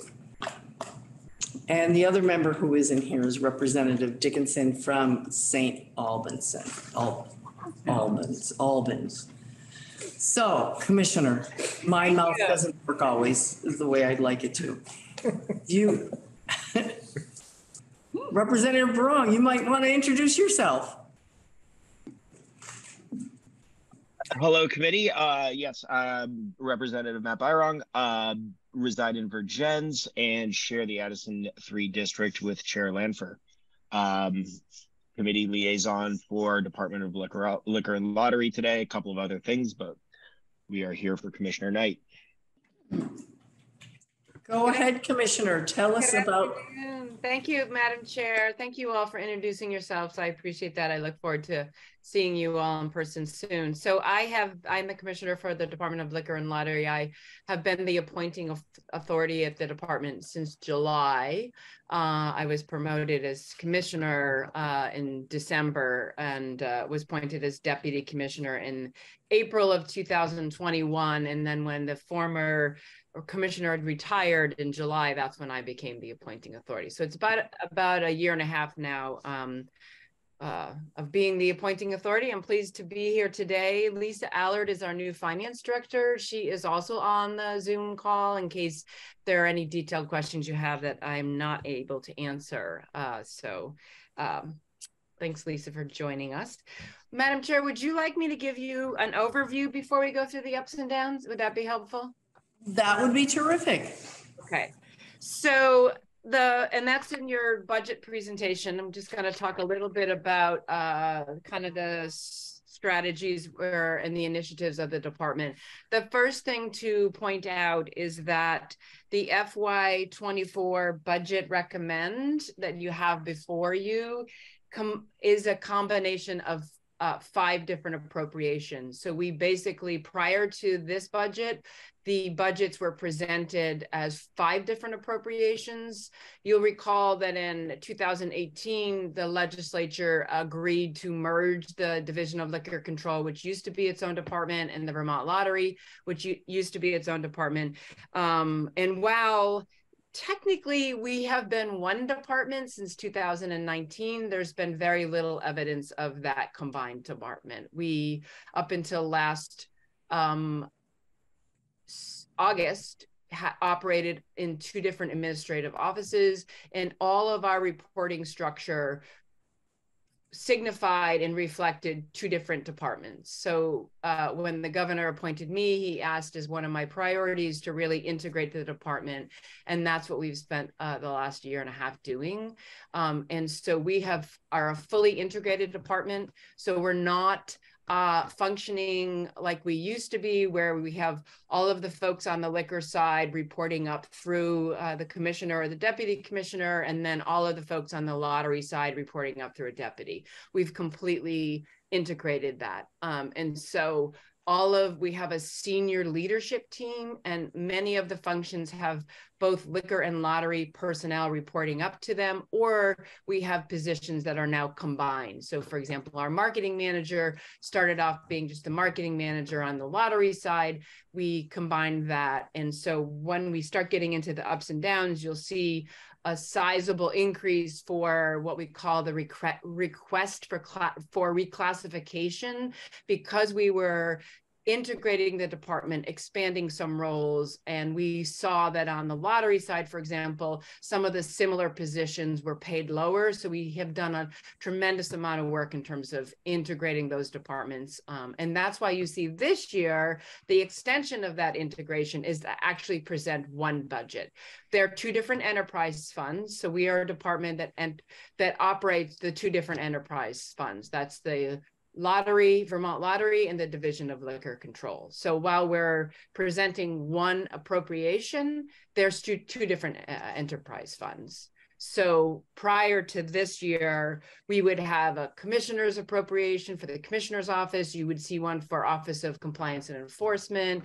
You saw one for the liquor warehouse. You saw one for the liquor administration, and then you saw one for the lottery. It makes no sense to present the, the that way because we're not we don't function that way anymore. So, um, so that's the biggest um, piece to point out. Um, so I have been talking a lot about the integration. So now we basically have three primary operations. That's the commissioner's office, which has a lot of those shared department-wide resources. We have agency operations, and, and that is again is liquor and uh, lottery. So we contract out with 802 Spirit Stores. Those are our um, liquor licensees and um, agent stores, and then we contract on the lottery side with about 590 agents. And so the agent operations are the purchasing uh, of the liquor, the procurement of the lottery tickets, the whole sales function, the retail function. And then on the licensee side, again, that's combined liquor and lottery, and we issue permits and licenses licenses for liquor, lottery, uh, and tobacco. And so those um, licensee operations are the education, enforcement, and the permitting. Um, so our number one priority, uh, legislative priority this year is uh, legalized sports betting. So you'll see that uh, in the ups and downs as a, a decision item that have been moved to a one-time uh, budget because that's what's included in the governor's uh, budget recommend is those one-time funds, which I'll get into. The lottery gaming operations. So the way the lottery works is the lottery industry, you contract with these lottery vendors, and they're the ones that operate all of the, you know, the vending machines and the back-end reporting. So we had a major conversion this year from our previous vendor to a new vendor. And that basically was a, you know, 10, 10 year, it's a 10 year, $150 million contract. So that conversion uh, was a significant um, initiative for the department in terms of all hands on deck, making sure that from the integrity to the security, the tickets, uh, so that went live in um, in the fall. We also uh, launched an online licensing portal. So prior to last summer, if you wanted to get a liquor license or permit, and Matt would know this, and Diane, your your uh, daughter would know this, you literally had to print out an application, mm-hmm. fill it out, and write in a check, is absurd. You know, so we finally got into the 21st century launched this online licensing portal and we've significantly improved customer service and the efficiency of operations. Used to take anywhere from six to eight weeks for a license or a permit and we've cut that down to um, eight days which is which is quite remarkable. Um, and no no soon couldn't be soon enough for our licensees i think. Um, and there's other pieces to that. There's education and there's compliance so it's not just licensing. On the marketing side uh, we really focus on the contribution uh, that the liquor control fund and the vermont lottery bring to the v- vermont community. So on the vermont lottery we know that those funds get directed to the ed fund. So we talk about like the educate and innovative program that we have a partnership with the ed fund uh, i'm sorry the agency of education um, we talk about the benefit to the schools of that money going to the ed fund. On the liquor side, we talk about the benefit of the uh, money going into the general fund, and we encourage people to buy local, shop at 802 Spirits. Um, education, we do a lot of education. I think this is kind of new for some folks. They don't realize how much education we do on the liquor side. If you are getting a permit or a licensee in Vermont, you are required to have uh, a, a certification. You're required to take training on servers and sellers. Um, and we do that obviously for uh, people understanding the dangers of over serving, proper identification, how to look for um, signs of intoxication and also carding. We are always giving out carding techniques. Um, we're integrating, as I mentioned, the education data in our online licensing portal so that licensees can access and see their um, certifications and know when the, they, they need to, to be renewed. Um, and then when there's a, you know, a new law or um, something passed, we do a lot of sort of infographics to let not only the public, but then our licensees know of the changes. Um, on the 802 Spirits retail operation, we're doing a lot of focus on becoming much more efficient and supporting our licensees, particularly the bars and the restaurants. Um, one of the things that struck me as very odd uh, is that if you were a bar or a restaurant, uh, you basically walk into an 802 spirit store and you purchase your alcohol much like a walk-in customer. We are a controlled state, so you have to purchase your spirits from an 802 spirit store. But I always thought that, that was kind of odd. If we're in the business of being in the in the business of spirits, which we are, we're the sole uh, distributor and wholesaler of distilled spirits. It feels to me that we we, we really need to be operating much more um, in a business support, business friendly manner. So we're doing a couple of things. One in July, we uh, instituted an on on premise program, sales program with our spirits companies. So we've asked the suppliers. We have international suppliers. We've asked them to identify products that they would like to offer, basically at a discount to the bars and the restaurants, so that we are giving the bars and the restaurants an ability to purchase the spirits at a little bit of a discount. Um, that program's um, doing quite well. I think we've had almost more than $500,000 in sales through that program exclusively. What we're doing is we're getting more suppliers to participate. The average discount is like three or four dollars a bottle. We just had a meeting with Gallo Spirits and they've committed to putting 100% of any of their products in Vermont on sale in that program. Um, so if you talk to any of the the bars and restaurants, you'll find that that's a really be- a benefit to be able to save on their cost of goods. Um, the extension of that program, which will be a B2B website, that's again meant for the bars and restaurants, that will enable them to go online and to search for the spirits they need. So right now, if you are a bar or restaurant, you need a certain type of Amaro for your cocktail menu. You know, you're basically calling around to the 802 spirit stores to see who ha- has it. Again, terribly inefficient way of operating. So what we're doing is creating way for people to search the products, see which agency stores the, uh, the products are located, and if there are out of stock products, they can identify substitutions and then they can basically do an online shopping cart. Use a credit card, a debit card. That's something we also clarified uh, this year uh, that the use of credit and debit cards is not constitute credit. And then they can have it either delivered through a private service or they're arranged to have it picked up. So we're hoping to launch that this summer, and that should uh, be another, you know, significant improvement in operations um, for the 802 Spirit stores. We've added a number of new products. Of course, you know, one of the complaints that we hear is, oh, you're a control state, you don't have enough product. New York has a lot more. I think it really has to do more with the size of New York or Massachusetts, for example, than uh, us being a control state. But we're working a lot with our partners to our supplier partners to make sure that we get the products that we need, particularly for the cocktail menus. So we've done a lot more in our listing. We do quarterly listing meetings where suppliers come to us with the products they want to list. We actually are doing much more of an outreach where we're going to some of these suppliers and saying, hey, look, we're looking to add more products from craft distillers, not just in Vermont, but around the country. We're adding, looking to add more Amaros, for example, or, or cordials that are um, important for cocktail menus. So we've added, add, added quite a bit of new product. Um, Commissioner, can I stop you for just a second? Of course. You know, if I'm, if I'm tracking this, you've got 200 new items this year. Is, am I from that new item list and 78 of them are Vermont-made products, correct? Correct. Nice, nice. I just having, it's, I'm just having a, a a flashback to going to the warehouse many years Mm-hmm. ago. And, and it, it was um, not user-friendly for probably anybody. And I think there's been some really good upgrades to that. But my question really is, is do you, is there enough space? So that's, that, you, great segue, Madam Chair, because our next okay. topic is warehouse and logistics. So the warehouse has existed in, basically in, intact, the way you saw it probably years ago. Um, there is no expanded space. We have a, it's about a thirty thousand foot square house, which is tiny. We have a lot of product. Our caseload is increased by about five percent. So the, this holiday, for example, we were packed, completely packed.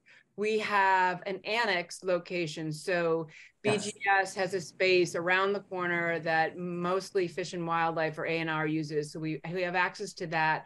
And then this winter, when we were um, really full and we didn't have a lot of out of stocks, we had four shipping containers with uh, for storage in in our um, parking lot.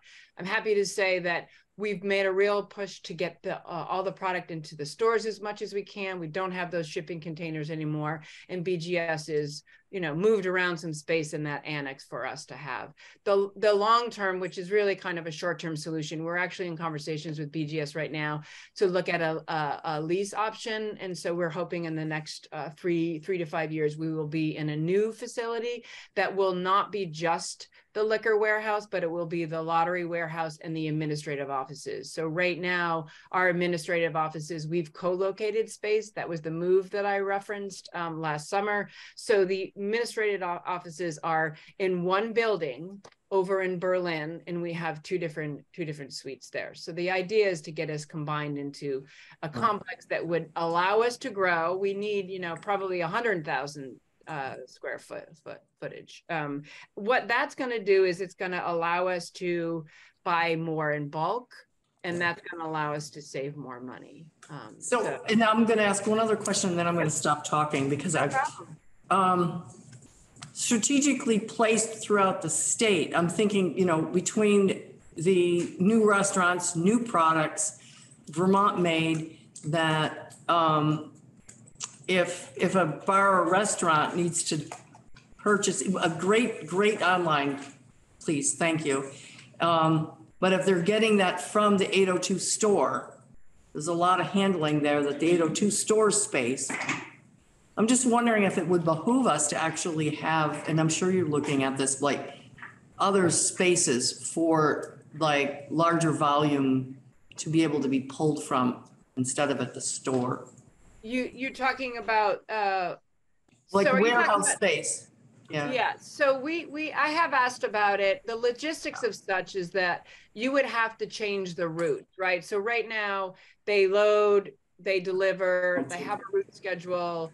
The problem with the logistics of is one, you need CDL drivers, right? And so that's a problem because there's a national shortage in CDL drivers. So we we have been talking about logistically making sure that we're certainly more efficient. Um, we work with um, an organization, uh, the National Alcohol Beverage Control Association, and they have a lot of resources. Um, so, A store doesn't have to unpack it, put it on their shelf to then get the order to have to pack it back up again. It actually comes pre, pre-ordered for somebody that's gotten it from the warehouse, but just delivered at the 802 store? yes, yes. So we do the delivery. So the 802 spirits, we pack the trucks, Just we like- deliver them to the stores. Right, I just didn't want to have the store have to take it out and process No, it. That just Yeah, seems, yeah, we, d- it, and it's all automated, right? So the uh, orders are processed and um, there's par levels. And so then, and then we actually physically do the delivery. So our truck drivers go to the stores and unload the product. Sometimes there's pallets, sometimes there are pallet drops like a bigger store. And sometimes there's a, a belt like Pearl Street, so. thank you. I just wanted to understand how that worked. Yep, and sometimes the stores will, um, if they cho- choose to, for example, an 802 Spirit store in Burlington to get the product out to the bars and the restaurants, they will lo- use a delivery service so that the bars and Mm. restaurants don't have to come in. So their bay isn't all Pick up. done. Right. Yeah. Yeah, yeah. Um, so staffing, you know, obviously it's a, we are fully staffed, the department, um, which is quite unique, I think, for state government. Um, we don't have, when we have vacancies, we're able to fill them. Even in the warehouse, we had two for a period of time and we were able to hire two recent hires on the warehouse side, which helps tremendously. You know, if you're that busy in the warehouse and you're down two people and then you have someone out sick, it just be- becomes quite problematic. Um, we are uh, seeing, though, that the lack of workers in Vermont in general impacts our stores. We have some 802 Spirit stores that have had to close, they close early. Um, they're not open on Sunday, and we see the same thing with our lottery agents. And so that's just something that we're really keeping an eye on um, because if your store is open, obviously you can't sell lottery tickets or liquor. So we're in the business of selling lottery tickets and liquor. So we really uh, we really want to help the lottery and the liquor agents maintain those hours. Um, and part of that is reevaluating our network on our 802 Spirits side to make sure that we're partnering with locations and business partners um, that are, you know, that have the ability to be open and clean the shelves and, you know, really participate in making sure the store looks good and selling product. Um, on the sales and uh, we saw $100 million in sales revenue on the liquor side uh, FY22. So we closed out June with $100 million in sales. That was up 6.5% from the previous year. Um, and we contributed 20.4 million to the general fund on the Thank lottery. Sorry. I just said thank you. Oh, okay. You're welcome.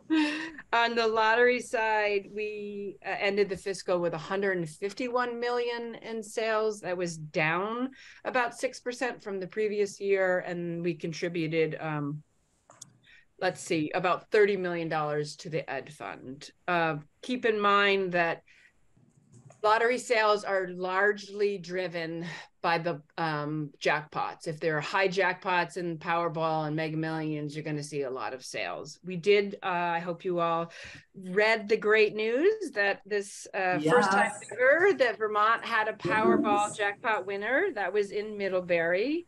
Uh, 300. Wasn't me. Congratulations. Just to let you know. Representative Scheu is just hiding her wind, her winnings underneath the chair here. yeah 366 million and that uh netted the state uh the share of that was 12 million dollars in taxes plus whatever the state will get from uh, personal income taxes because that individual was a vermonter so so that was a that was a great great boost and excitement for the folks at the lottery department Yes, Um, Representative Har- Representative Harrison has a question. yes Yeah, Commissioner, just uh, quickly, on the lottery end, it used to be at one time, instant tickets were a, a big percentage of it. What's the trend on the instant, and if you had to break it into two buckets, the online versus uh, instant, what, what, what's the breakdown? So I can get you that. I don't have it right now by product. I can get you the sales um, by product. So there's Powerball, Mega Millions. That's what you're looking for. Instant ticket, fast play. Yes, yes. yeah, I'm just, I'm, yeah. I'm- I'm interested, especially in the trend on the instant, because that used to be, I mean, before the mega jackpots, the, the, the driver of a lot of the lottery revenue and, um, net to the education fund, but Yeah, we're, may we're. not be true I- today. And I can get you that. We definitely have that. I do know that the five dollar instant ticket is the number one instant ticket sale. Um, you know, we look at the trends a lot to see what's the price point, um, where we're seeing that. So I can follow up for sure and get you that. Thank you. You're welcome. Still too rich for my glass. Um, any other questions on some of the overview and the highlights before I get into the ups and downs? I'm sorry, what was that? Uh, did you, anyone have any questions about what I chatted about just now in terms of the overview or the highlights before I get into the ups and downs? Doesn't appear to be. Okay. So looking at the ups and downs, I'll just walk you through it. I mentioned that we're starting with uh, the FY twenty-three appropriation is thirteen point nine million. Again, that's the five appropriations combined into one, um, representing that fully integrated department. We are looking at a very conservative one point six percent increase. Uh, so the FY twenty-four uh, budget ask is fourteen point six million, and that represents a one point six percent. A lot of that is because of the integration of the department and sort of centralized uh, fu- admin- administrative functions. So we're anticipating that we'll continue to reduce cost. Um, if you look at uh, going down that column total number, you'll see 364 for the salary increases and the R RFRs. So that's the uptick in salary pressures, that's 222,000. And then the request for rec- reclassifications, I mentioned that we were doing a significant amount of work and reclassifying positions to have the employees be paid more. And this is reflective of what their duties are now. Um, that's reflective of, of a more integrated positions. And it's also reflective of ensuring that the, some of the sales agents, for example, on the lottery side were traditionally paid lower. We wanted to bring that up and on par with some of the work that's going on with the liquor sales agents. Just, just, re- the RFR is the. That is a request for reclassification. So if you want to, if, if, if someone is doing more work. Oh, no, I just didn't know what the initials. Oh, yeah. Request for reclassification, okay. Yeah, so that's the way you are able to ask for a different classification, get those folks paid more money. So Yep. that's what we've, we've done is we've spent a significant amount of time, um, the last year and a half doing that. Um, so that's the additional hundred and forty-two thousand there. Yep. On the decision items, uh, you look at that, we, this is, this is Oh. related to. Wait, I'm sorry, was there a question? There is, but it- we're gonna hold off. She's Okay. gonna- Explain it, and then I have a question. Okay, I'm ready to go on to um the fa- the uh the next piece piece of that. Do you want me to stop? Nope, I think after this Okay. piece. Okay, so I want to bring your attention for a moment to the federal funding column, right? So you'll see your federal funding column under salary yeah. fringe, a negative 88,000.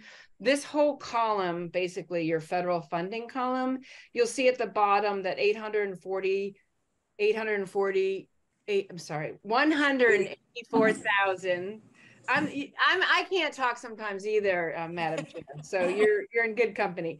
My tongue That gets. that is being moved a- a- a- across all the major object codes. That is because that reflects the FDA contract for tobacco compliance. That contract ends in May. We're not renewing that. So that's why you see that um, in the federal funding, that all being moved. Um, just to be clear, we have three other means of tobacco compliance and education. So we do an online tobacco compliance program, and that's an MOU with the health department. That's paid through the uh, health department's global commitment funds. We have a state mandated tobacco education, and that's paid through the state tobacco litigation settlement. And then we have a federally required tobacco education, and that's called Synar. And so those three are sufficient in terms of the tobacco compliance. So you- you won't see the FDA um, funding there. We're not requesting that. Representative Harrison has a question. Yeah, Commissioner, I know we went over this uh, before when we met. um, And my, my question is quickly, the amount of money you get from the federal government for the Synar checks, are the costs that you've had incurred with the overtime and whatnot doing those checks, was it basically a break even? Or are we going to lose some money because some of those costs were fixed? No, we're not, we're not losing any money. We're just not requesting the FDA funding for the tobacco compliance. So we were paid by the FDA to do that. It was done through overtime. So it was a voluntary program where we would ask the investigators. That's why you see the overtime going away. So the three different ways that we continue to do tobacco compliance are funded in different ways. So there's no money lost to the state because we're not doing the FDA contract. Thank you. You're welcome. Representative Lumley. Yeah, I just wanted a clarification because I had, I had underlined this on the highlights section on the page before where um, it says that you saw a five percent decline in tobacco compliance rates this year, which we attribute to worker shortages. Can you just explain that in the context of what you just talked about? Yeah, and I'd have to dig up that report. We send a report to our policy committees, and I think the be- best thing for me to do is to send you that report because then you'll get to see it's the tobacco report that's due to the legislature. So what we saw is uh, in uh, in the the the Synar, not the FDA, uh, the Synar, we saw that this past year, which is kind of uh, unusual for us. We had that a five percent decline in uh, tobacco compliance, and again, we are attributing that to the agents at the stores, the not having the workers, so perhaps they're not doing uh, uh, checking. And All the more reason why we think that our just ask for ID um, program that we just launched a couple weeks ago is going to be really helpful. You know, um, we're just guessing that that was the case is to the past year why there was a slight de- decrease and people at the stores asking for identification. But why don't we uh, send you uh, that report so you'll have that? That'll give you more detail. Thank you. Uh, Commissioner, I have the report. Would you like me to share it with the committee assistant? Uh, no, we can do it. We can send it. Thank you, though. Good, okay, let's take a look at those shaded boxes. Okay, so the next area is the, uh, the initiative for sports, uh, betting. And what we did here is those were originally decision items and we moved them to one time. So you'll see here, um, we have for personnel services, we've built in here, um, a director of, um, sports betting, we have an administrative financial position, and then we have contracted services, and then the other miscellaneous, um, uh, health, et cetera, over time. And then the operating side, we have ADS support, um, and that's for operate, you know, reporting and uh, self-exclusion lists, et cetera. So that's for the IT component that helps us run the sports betting. Um, the total uh, cost that we estimate for that is five hundred and forty, five hundred and forty-five thousand dollars. Um, that'll be the the one-time ask, and then beyond that, that will be covered by the operating fee uh, built in the sports betting um, program. Representative um, uh, Scheu has a question. Thanks. So um, if the legislature approves this, you answered one of my questions, which is what happens after this year.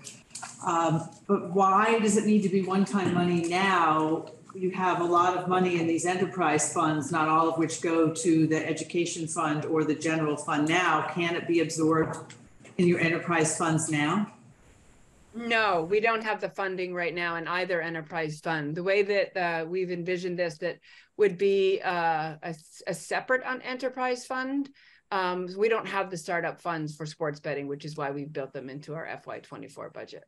Okay, and so there wasn't a, was there talk of, you're going to create a new enterprise fund for this, is that correct?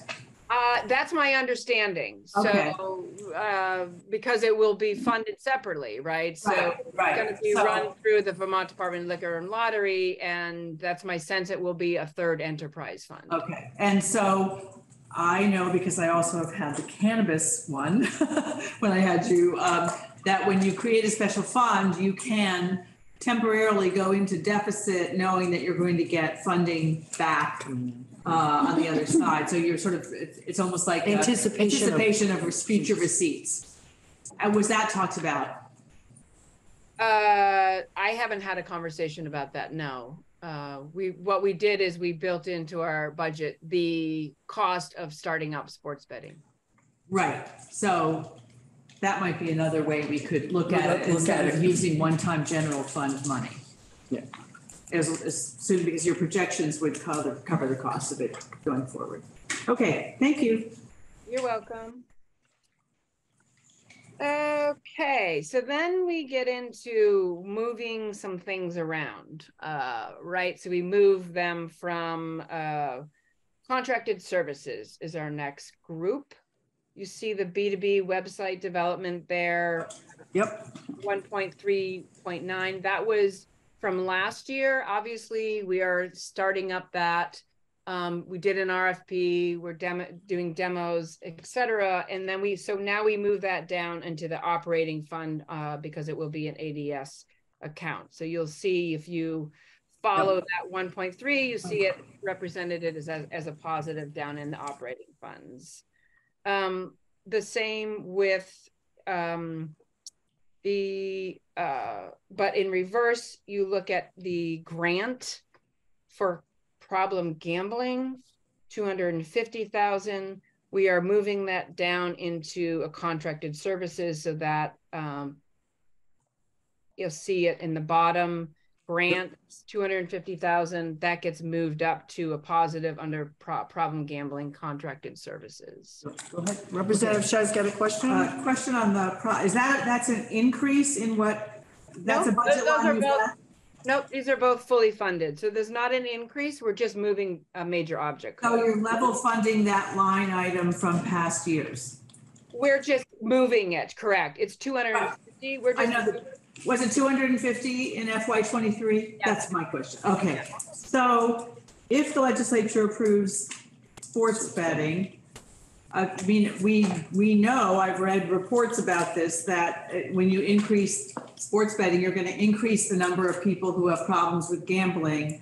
But I'm not seeing that you're increasing, um, your Support. support for people who become problem gamblers. So the law, the legislation, legislature right now, the legislation right now for sports betting has a problem gambling responsible gaming fund. It will be funded by two point five percent of the revenues with a floor of two hundred and fifty. So the way the sports betting uh, language would set up the problem gambling. This right here, this problem gambling is for Vermont lottery only because sports betting is not legal right now, right? So the only thing you see here is for Vermont lottery. The legislature envisions allocating money through a percentage of the revenue of the sports betting to be directed towards problem gambling. And you, and you said two point five percent of revenue for problem gam- gambling and capped at, No, not capped, with a floor. floor of two hundred and fifty thousand. That's what's in the bill right now. Okay, and what is your plan for, for supporting people who have a problem gambling? What's the plan for that? Uh, so you, are you talking about on the sports betting or are you talking about Vermont lottery?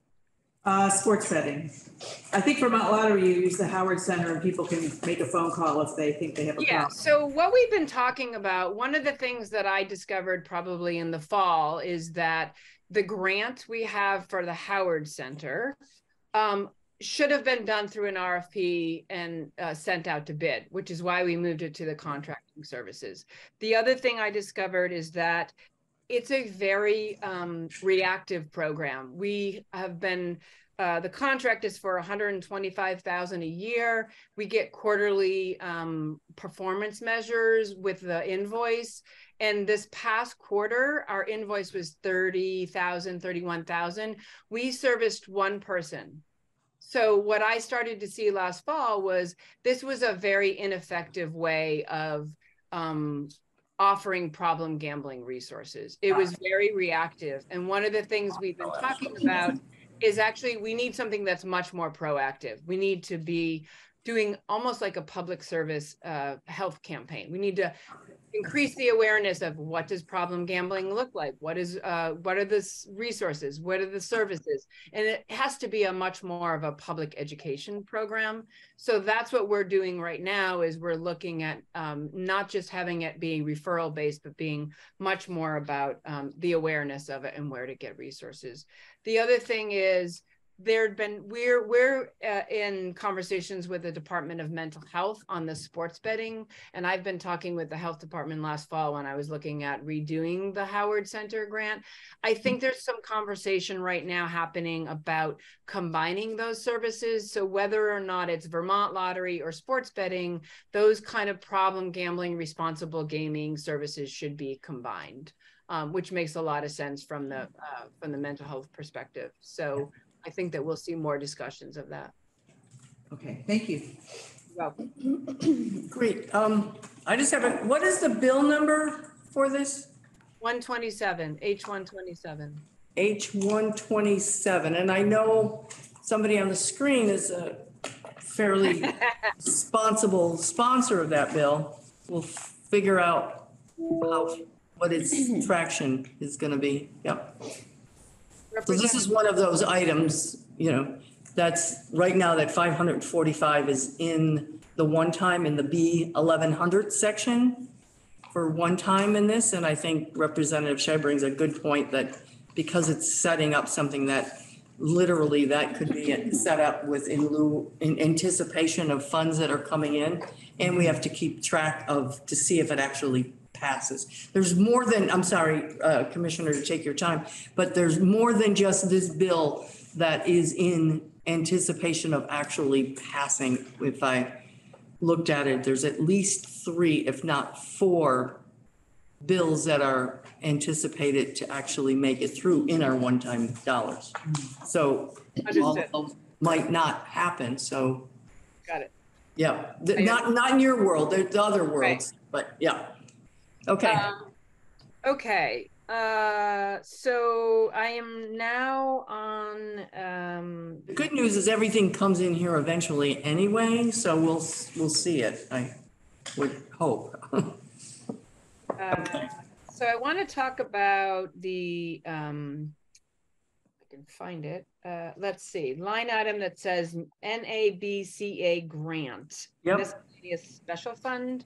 So that is the National Alcohol Beverage Control Association that gives control states grants. We get grants from them pretty much every year. And that is just the spending authority for that grant. Um, we have a sixty thousand grant to sixty thousand dollar grant to do direct to consumer um, uh, compliance pilot program. So that's just representing the spending authority for that. Uh, I mentioned when we start to get into uh, interdepartmental transfers, if you go down, you see the drug recognition uh, MOU with VTrans, you see a cannabis control board uh, contract and a health department contract. Those represent um, uh, inter- interdepartmental transfer funds for uh, spending authority for us to do the work um, of those grants. And I think that kind of covers all of the major items. We've already talked about the grants, we've talked about the operating funds, so we end up with a one point six percent increase for a total of fourteen point six million. Thank you. The only, you've got a one point six percent increase, which is, you know, something of unusual from all the other budgets that we've seen, so congratulations.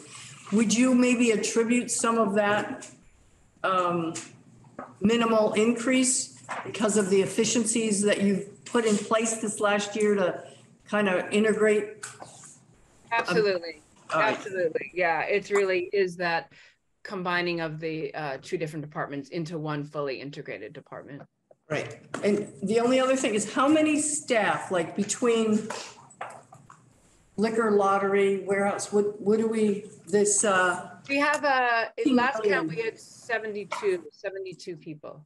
72 staff? Yeah. All full-time? Yes. Interesting, you'll find, I was actually looking at the very first Liquor Control Board report to the governor and uh, we found it in our moves. We found some archives, so. uh, 1921? 19 No, 1935. Prohibition was 93, 19 1933, and then after Prohibition, so the Yeah. very first Yeah. report, we had 11 employees in 1935.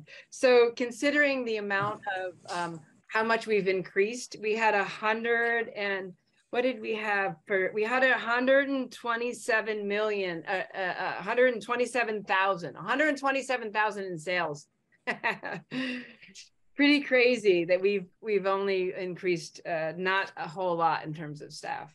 Is the point I'm making. We're pretty pretty lean and mean. Well, I gave up alcohol when I took this job, so I'm not helping sales at all. Sorry. Okay.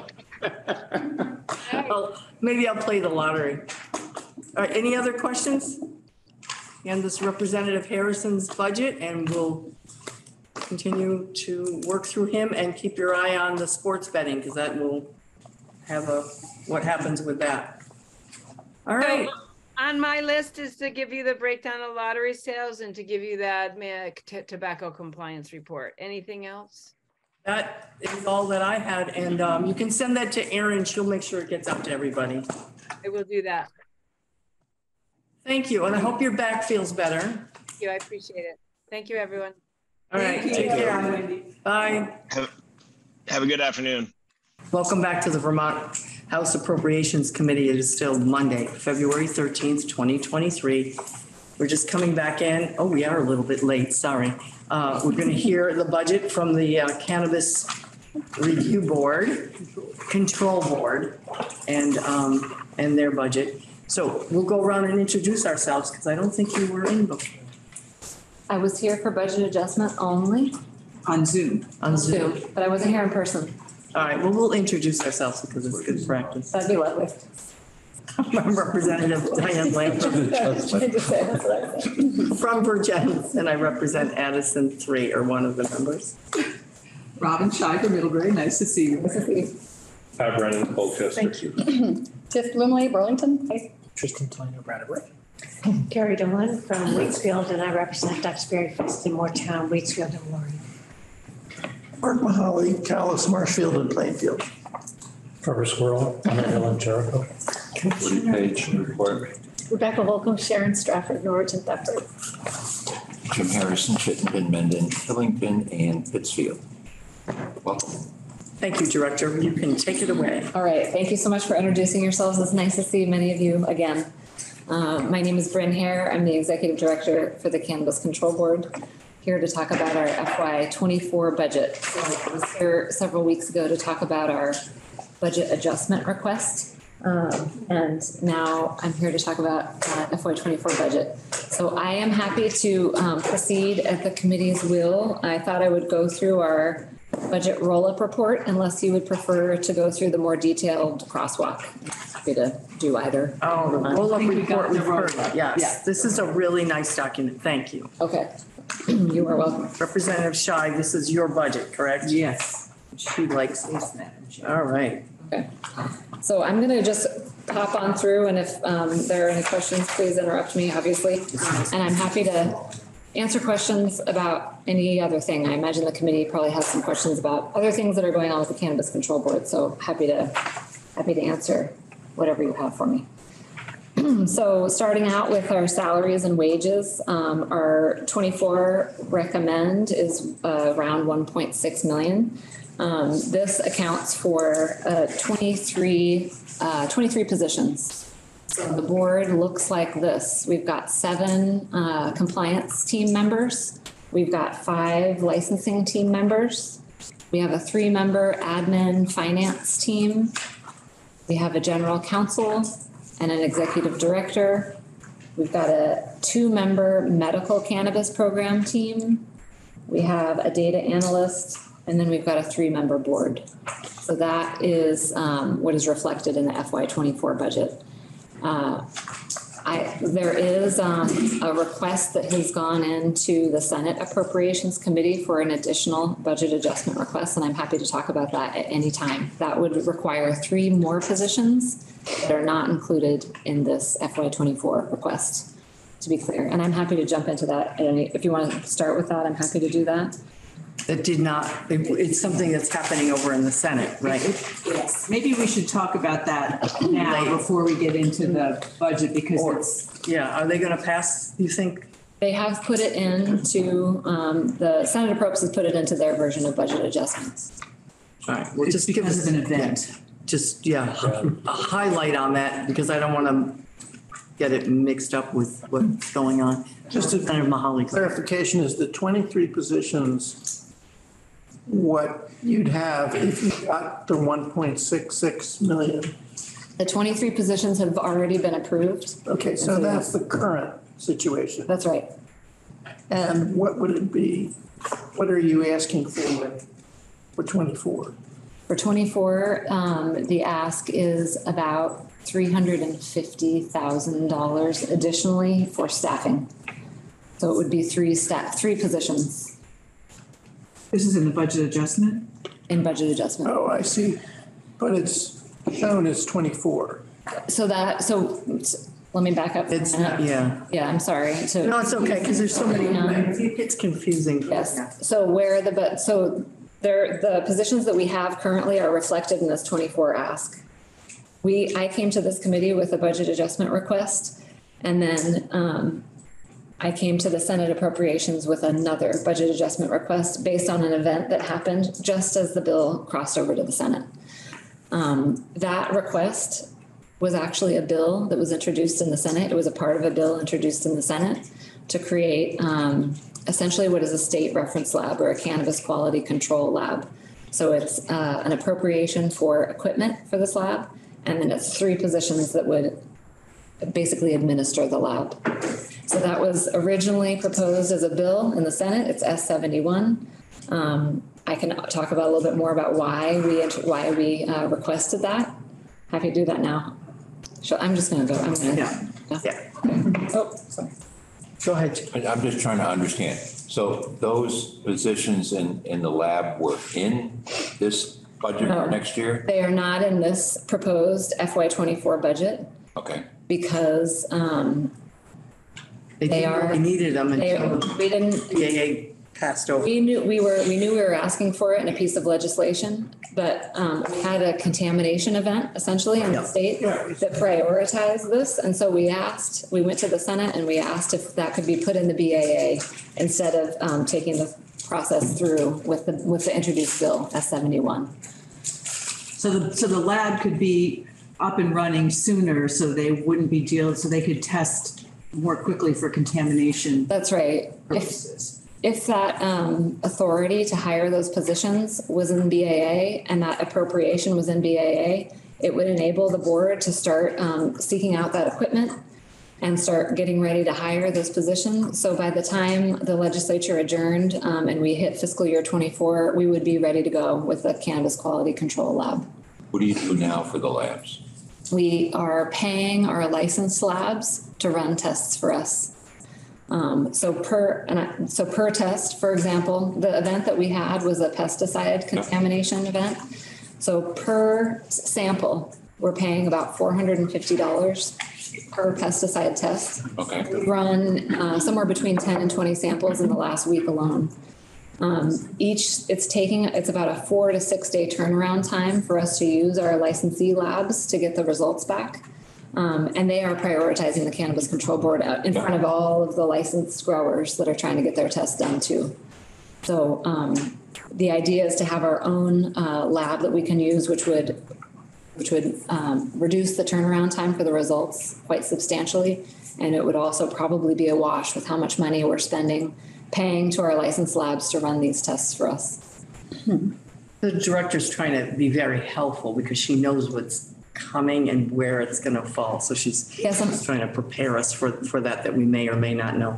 Are you- are you- Yeah, no, I'm good. Good. I'm good. I'm just Representative trying to and understand. Representative Holcombe. I'm still working my way through this line here. So what then, I get the three positions, sort of. Um, But what's the eight hundred and fifty-eight thousand dollar increase? That's not three, is that? No, that is about eleven positions that were originally um in our FY twenty-three budget. Those were, I'm sorry, yes, in the, in the prior version, those were under the per diem and other personal services. You can see in line eighteen. Got it, okay. That they were put, they were coded there because we didn't have the authority for those positions when we were building our budget at that time. Um, the legislature still had to give us the authority to hire those people. So that's how we coded it, and now it's moved up to where it should be, which is salaries and wages and fringe benefits. So that per diem and other personal services was one point eight million and now it's just hundred thousand. That's right. There's other stuff that must be, must have been moved too, right? All of the, that, yes, all of those positions Were moved. were moved, yes. Plus other stuff, because that's eight hundred and fifty-eight thousand. There were, there's, some- there was a couple of other things that fell into this category that have also gone away. Oh, they've gone, okay, great, thank you. Thank you, Madam Chair, I now think I understand. Good. That was my question. Hmm. Was the one, okay. Okay. So what she's saying is watch, when we get the BAA back, there's a likelihood that this new, new information will be included in it, Yes, which then will be carried forward into twenty-four. that's right. Um, Do you think this lab, um, if you had this lab online right now, would it have prevented pesticide contamination in, in an area not too far from where I live? for that company? Well, um, I don't want to overpromise that we would have prevented it outright. Uh, I would say that we are, um, still really getting our feet under us. So we had our first, um, cannabis sales in October. Um, and the contamination event, um, was really the, was, we we're, we're doing quite a bit of forensic testing essentially to find out the source of this contamination event.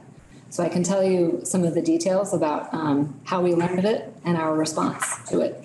And, um, and I can tell you how the lab would have helped us. So we had a um, consumer complaint come in a couple of weeks ago about illness after smoking um, some cannabis.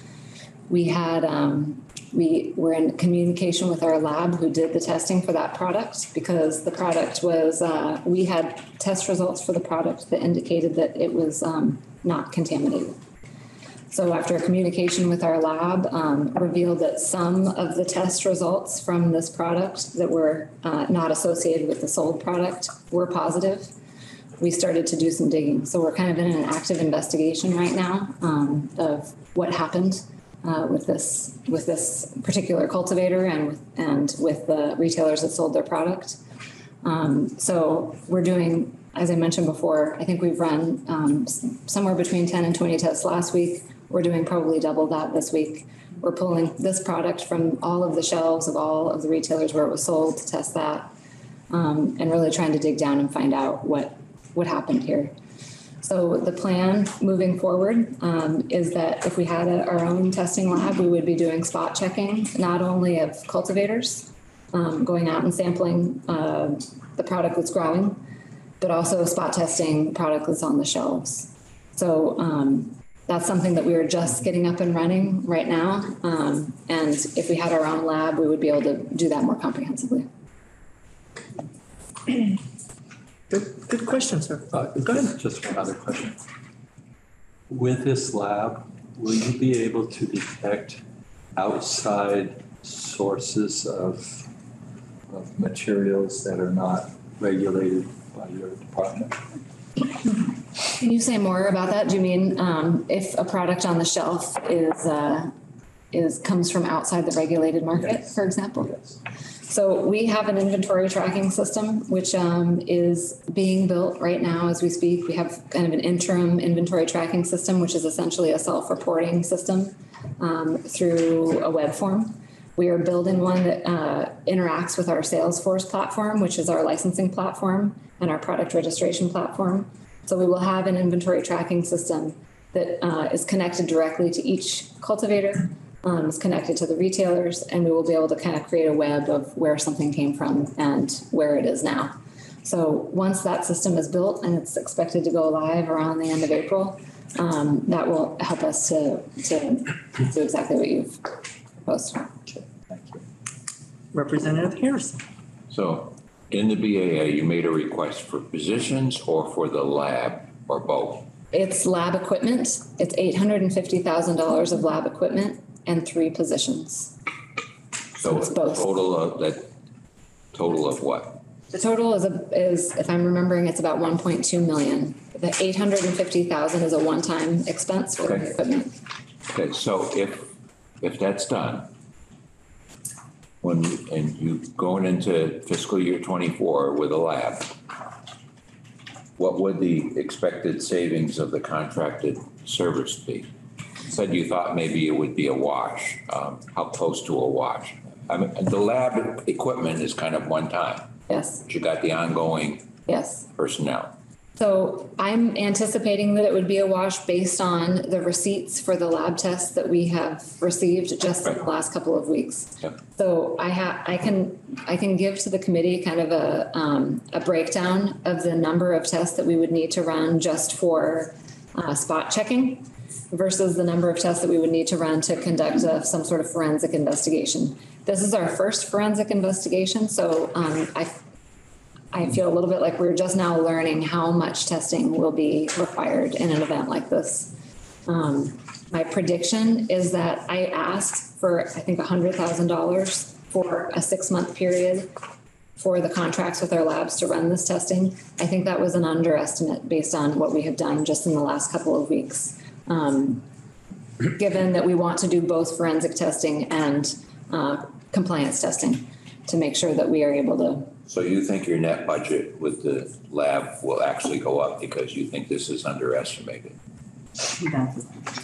without the lab? yes, yes. Okay, well, I just, we have to understand. Weighing, weighing the, yeah. Yes, thank you. I didn't understand the question at first. Go ahead, Rep- Yes, Representative. and so just um, to clarify, so the committee also knows, um, the money for the Cannabis Control Board comes out of their special fund. And uh, a, a portion of the excise tax goes to fund the special fund. So this is not general fund money, except if we're doing something, and that is, Maybe by the is that general fund money, the lab and the- the positions in the equipment, or is that use the excise tax? That's still the special fund. So the, um, if we are appropriated the eight hundred and fifty thousand Yeah. Prior to FY twenty-four, that would be a general fund transfer, my understanding. Because the statute provides that beginning in like Jan, on July one of FY twenty-four, the excise tax revenue flows first into our fund, into the cannabis regulation fund.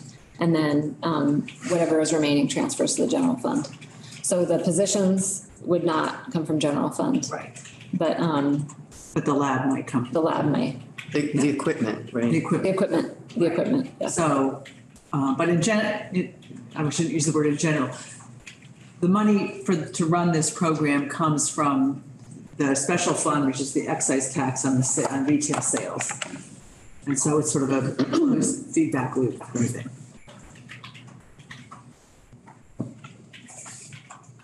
Good? Oh, Just a silly Good. question. If some, if there are vendors who are have repeated contamination, are they assessed a fine? Yes, um, so depending on sort of the nature of the event, uh, it is a category one violation to sell, uh, a product that's conti- or to use, um, prohibited pesticides, for example. So there are, uh, penalties associated with that. And those go into a special fund? Yes. Yep, all of the penalties, so the fee revenue and the penalty revenue all is a part of the special fund. Go ahead. I, I'm just curious, do you have organic materials that, um, that our farmers are, are- are growing for your products? So organic, we're Is there a difference between organic um, cannabis and just? Cannabis. Yeah, thank you. Non, non, So we're not, we really don't use the word organic because it's like a federal term. Um, and our cannabis product is not a federal product. It's a state of Vermont product. So, um, organic in the, in sort of the traditional sense of what it means, um, doesn't apply to Vermont cannabis. However, there are. Does or doesn't? Does not, no. Um, because you cannot claim that your product is organic pursuant to the federal definition. Definition is, yeah. It's federal. Um, you, it, you could get in trouble for that. Um, So, however, um, the, we abide by the Agency of Agriculture's pesticide rule, um, which prohibits most pesticides on these products. Um, there's a very limited set of pesticides that one can use on cannabis products. And so our Agency of Agriculture, I think, is quite stringent in this department. Um, So I do think that the cannabis sold in Vermont is going to be very high quality and clean. No pesticides. I can't wait for the next question. It's coming. No, it's not, I'm done. In a, in a few weeks, we'll see how he is. I just, I just noticed that Representative Brennan's the only one not in the vest club today. In The one. Yeah. Best The vest. No, we've had an excellent turnout of the best caucus. Yeah, but I forgot my tie. are. I'm Especially for Monday. It's not, that's true. next week. Oh, we are here on Monday. Did you, did you have We a? got two weeks. No, I, No, okay. We don't need. to. Thank you for being so patient and clear with, with us kind of putting that There's a together. learning curve to Yeah. this, I think. Yeah, 'cause I'm happy to talk to anybody offline. you got it, you like it. All right. Okay. So, um, I can, I can move down now. um, to the contracted and third-party service line. So, um, at one point six million for contracted and third-party services reflects a portion of our BAA, our original budget adjustment ask. Um, that included one hundred thousand dollars for appellate officer contracts, um, thirty thousand dollars for the NIC fee payment processing. Um, I can talk about, I, I'm happy to talk about any of these, five thousand dollars for rulemaking. Um, and hundred and fifty-seven thousand dollars for our IT funding gap. Um, and it also includes one point four million, which is our estimate for phase two of our IT system. And I have, t- I've touched on our IT system a little bit. I'm happy to elaborate. Um, we have built our licensing portal, like at the same time as we've been licensing our cultivators. We have a portion of the, our IT system done. Um, we are currently, as I mentioned, building the inventory tracking system. Um, that is in progress. We're also building a product registration system so that we can make sure that every product that is available for retail sale has been vetted um, by the board before it's on the, re- on the shelves. And phase two is our, um, the kind of the second half, which is our compliance and enforcement part of the portal. So it will integrate um, our compliance and enforcement actions into our licensing portal. So our IT project um, is substantial and ongoing, um, and that is phase two of the project, which we hope will be the, phase two will be the last phase. Madam Chair? Oh, yes, go go right ahead. Just, time- hand is there, it is. It's Um, on the bottom. So I just want to make sure that I understand here. So uh, in the BAA, um, is what you just said, that this one point six million dollars includes the four thirty-five that was in the BAA? Yes. It's a portion of it, not all of it. Portion. So I'm just one, I, I'm now Yeah, we asking. did, but not the new one. Right. But Not the Senate, right, yeah. Right. So, um, is, does everybody do that? Um, meaning, put the BAA request in FY twenty-four budget?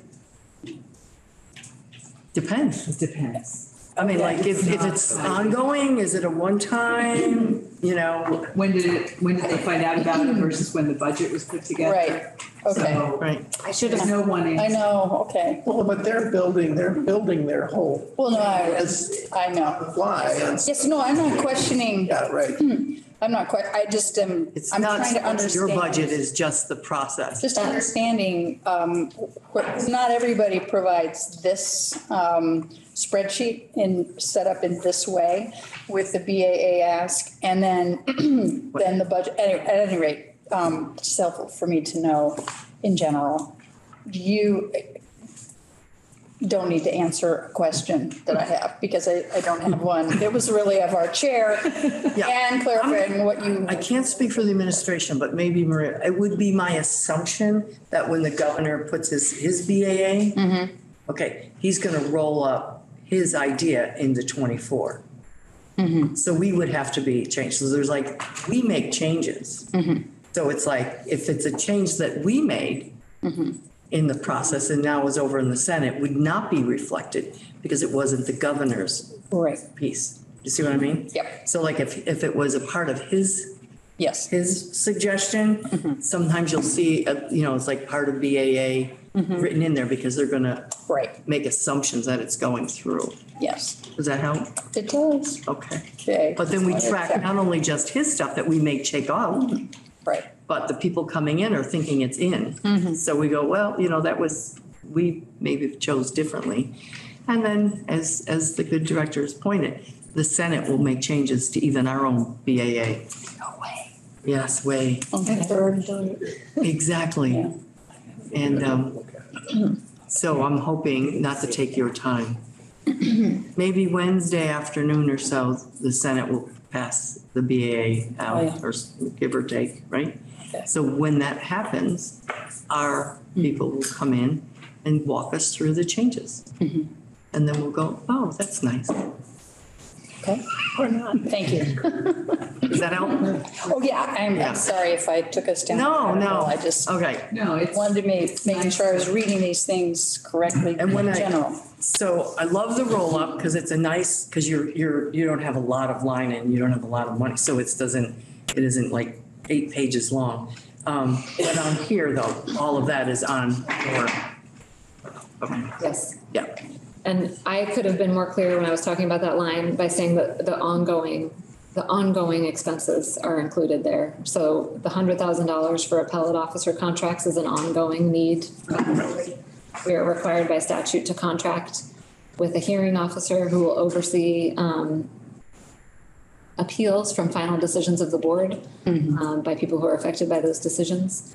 Um, So we have contracted with two hearing officers. We'll probably contract with a couple more, and they will oversee those appeals. Um, And so that is an ongoing expense. Okay. Um, And then the thirty thousand dollar NIC expense is also an ongoing expense. That's um, the state vendor for processing the online fee payments. Online, yes, fee payments. So anyone who wants to pay their application fee online, um, we're assessed a, a charge for that. Okay. So all of theirs, great. Representative Brennan, we're going to hear your voice. You are. Um, uh, Could you describe what, what an appeal might look like or why, who would appeal? Would it be a, a, a a license issue or the, you know? Yep, sure, sure. So yes, um, a final decision of the board so far looks like a denial of a license. So if the board, um, if we receive an application and we find it to be, um, not in, we find that the business is not in compliance with statute or rule, we would deny that applicant for a license. That would be considered a final decision of the board for which, um, the applicant would have a right to appeal. Um, also a denial of social equity status. So the board is by statute required to make determinations about um, applicants who have, who are considered social equity applicants. Social equity applicants are entitled to reduced fees um, and also payments from the Cannabis Business Development Fund, which is administered by the Agency of um, Commerce and Community Development. Um, So that would also, a denial of a social equity status would also be grounds for an appeal. So those are, those are two examples. Um, There may also in the future be um, appeals of enforcement actions. If the staff recommends an enforcement action, um, a person who's subject to that action could appeal to the board. The board would issue a final decision about that action. um, And then the applicant would have, or the licensee would, would have the right to appeal. So you, you expect enough, well, I don't know, you, you're talking about two positions, two, It's, yeah, we've, we have two contracts now. Um, we're likely gonna try and have a couple more. This is how OPR has hearing, I mean, many state agencies have hearing officers. I'm sure you guys are very familiar with that. So, um, I think typically agencies keep a number of, uh, contractors sort of on, they retain them uh, to a certain extent so they can always have a hearing officer available for an appeal that comes up. So I've got one question on the crosswalk. There's, um, there's a point two six eight three with no description. And I'm, I'm not too sure what that is th- there. Maybe it's a mistake. It's underneath the FY twenty-three governors recommend. I'm on the, The detail report? The, uh, the crosswalk, the it's yellow and crosswalk. green and has all those colors. Oh, I see. you see it? I think it's, my guess is it's there. It's under Because I never- fiscal twenty-three. I don't, yeah, and I don't see a description, so I didn't know. And what's the number? I don't have Point the. two nine. Zero point, Just on page sixteen, Okay. Right in the middle. I've had to do it the other way. in the special fund. over here, Have this weird number. you see it? Oh, I see it. it's there too. It's over there too. Okay, Yeah, that's it, yep. we think it's not supposed to be I don't there. think that is supposed to be there. Okay, well, I will make sure that that's not That's supposed to be supposed to there be and get back to you. Maria, do, do, you st- hi. Hi. We, we think, we've got something here that's not supposed to be there, not from yours, but we just want to point it out to you. Okay, all right, in the crosswalk? Yeah. Yeah. Those It does work. numbers are It does work. It really does. They're two, yeah, they are. from the Point page to the back page, yeah. Yeah, I think it's just. They are different. That's Yeah. what you know. Thank you very much. What the heck? Yeah, it doesn't make any sense. Yeah, what's Like somebody just- Yeah. Put it right in there. interesting? Nonsense. Thank you. Okay. Thank you.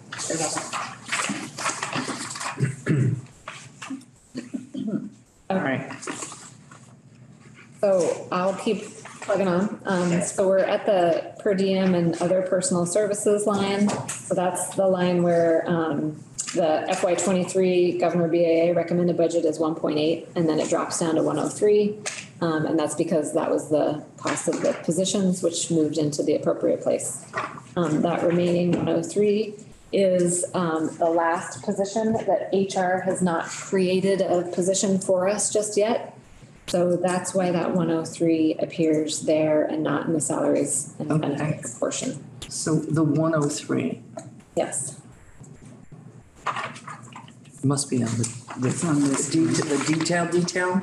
Yeah. It's on the roll up. I'm looking for it. Okay, it's gotta be in here then. Hmm. Numbers. Hmm. Where's the one oh three? Okay. So where does that come from? It's a position that hasn't moved up to salaries and wages yet. So you, so it's gotta be a combination of a couple lines. It will move, yes, yes. It's a combination of lines on the, yeah, okay.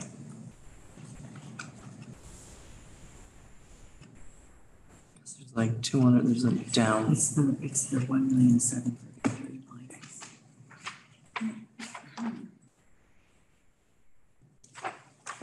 I can, I've seen this one before, but I don't, this one, you know. This, this one, the one, the one, one point seven. Right, so what that is, is this minus that number equals that number. That's- Minus, no, that's the new recommended, so it's down one point seven two. So all these moved up. here. So this isn't, so this isn't new, this is a subtraction from here? A down? Oh. the, the, Yeah, 'cause No. this, Yep, okay, all right. Sorry, no, I'm sorry, that, yeah, that number, we're just looking at it. yeah, that's what moved up to the salaries and wages. Okay, So I'll move on to the operating expenses, if that works now. I'm on the roll-up report, um, that I'm looking at. So we've got a little bit of an increase in equipment, um, from five thousand to ten thousand, and that is just factoring in the additional positions, um, and the equipment that they will need. Um, I think that the IT and telecom, the, the slight increase there is also reflective of the additional positions.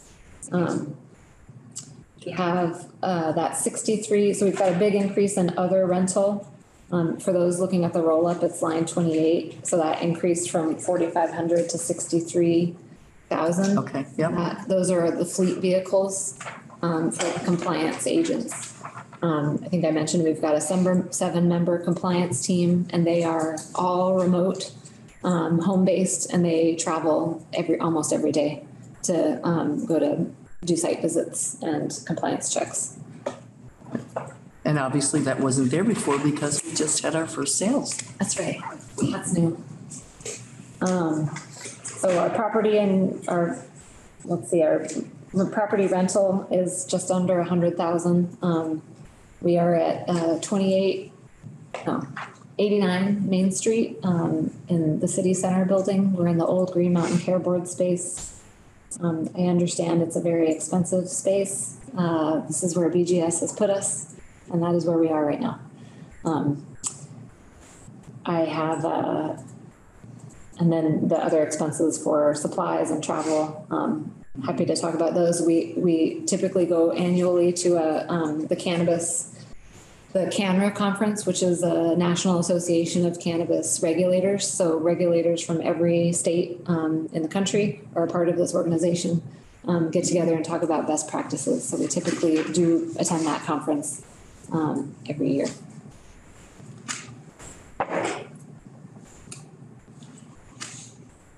So those all roll up to 291. Which would be a part Madam of. Chair. Yes, sure, sorry. I have, a I have a question that's irrelevant, but I can't resist. When you go to the conference, what do you discover about the culture of the, your organization versus others? That's a great, I could talk about, I could give you an answer to that question that would go on for a long time. Um, it's very different. Ver- The Vermont um, cannabis regulatory culture is quite different from that of other states. And I can just tell you briefly that it's mostly because of the, um, our enabling legislation. The way that the legislature crafted this market is quite different from every other state.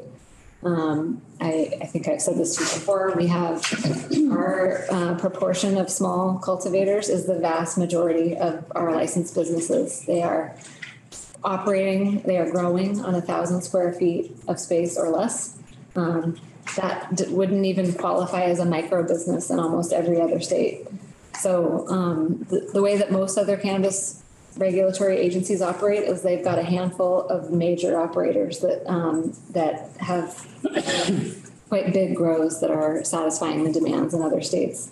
So I don't want to say it's every state. I know that Massachusetts and, um, you know, California, they do have small, and New York is now getting online with micro processors and micro grows. But, um, so far, nothing really has compared to what we are doing. So, um, it's quite, it's quite different. And it was by choice.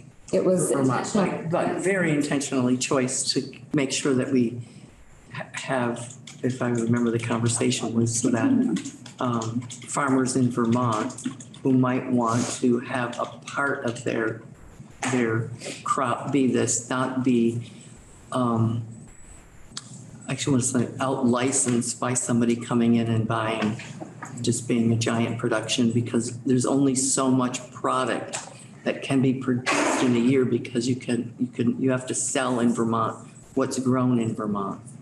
So one very large place could end up being the monopoly of it. Right, so what the legislation did is it provided that everybody can only get one of each type of license. So there's no stacking of like multiple cultivation licenses or retail licenses. So there's really kind of an anti-franchising provision in the enabling legislation. Um, So that's. And, and- and we made some statements, like through law, around what a city or town can, when they can say, what they can say no to, what they can't, because it's considered agriculture. Right, town, so it's, it's a little bit separate for the types of. Type, you can, you have to be able to vote to have it be sold in your town, but you can't say no to being grown. Did you say that it has to be produced here? It does, yes. All cannabis has to be produced within the, it's like we've got an iron curtain around the And border. we didn't run into interstate commerce problems with that. Well, um, no, there are, uh, I don't, I don't know how well everybody is following what's going on in other states, but the, um, in California, the Cannabis Regulatory Agency just asked the Attorney General to weigh in on whether it would be a violation of, inter- whether it is a violation of interstate commerce. The to AG in prohibit- California. I know how that will come out. Um, So, Representative Dolan, did you have a question? Yeah, um, I mean, interestingly enough, uh, in Vermont, in Waitsfield, we have two retailers and uh, I think a, um, a laboratory, what do you, what's the other license? oh, a manufacturer? or- Manufacturer, but two separate, in different locations, um, retailers, which I I guess I, in my mind, I had assumed it would be one per municipality. And you probably see this in other We do, yes. So I think something interesting that there is an opt-in provision, which. um, We opted in, but I, I guess that one location didn't necessarily mean one. Yeah, the one- One municipality. The one location rule applies to the licensee. So uh, each licensee can operate out of one location, but a town that's opted in can um, host multiple establishments. And given that opt-in provision, there are some interesting dynamics happening with the,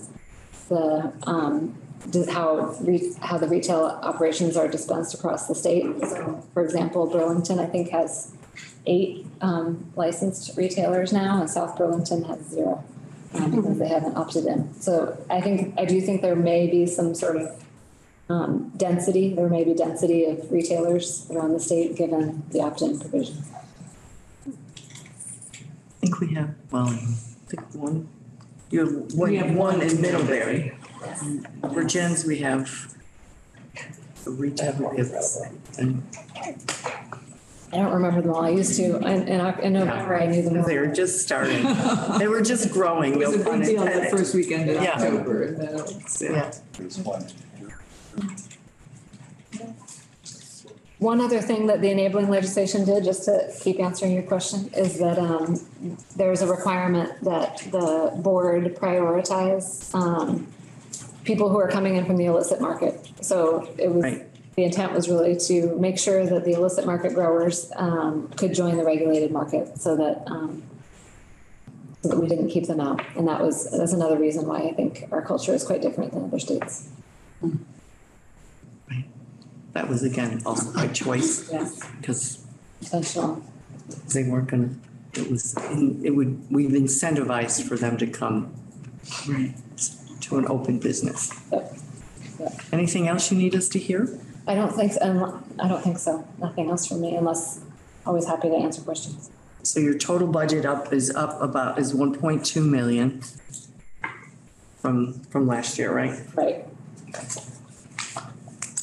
And it comes from the cannabis fund. All right, thank you. Thank you. And thank you for helping to zero, yes.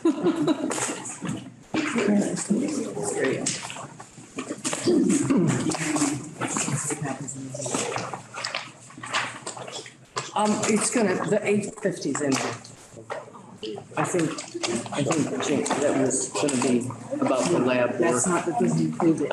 It doesn't. But they were gonna respond to the fact that there was two products that needed to get passed. Right. So committee, we are still live and I think we can go off live and we'll see you tomorrow at eight thirty in here for, um.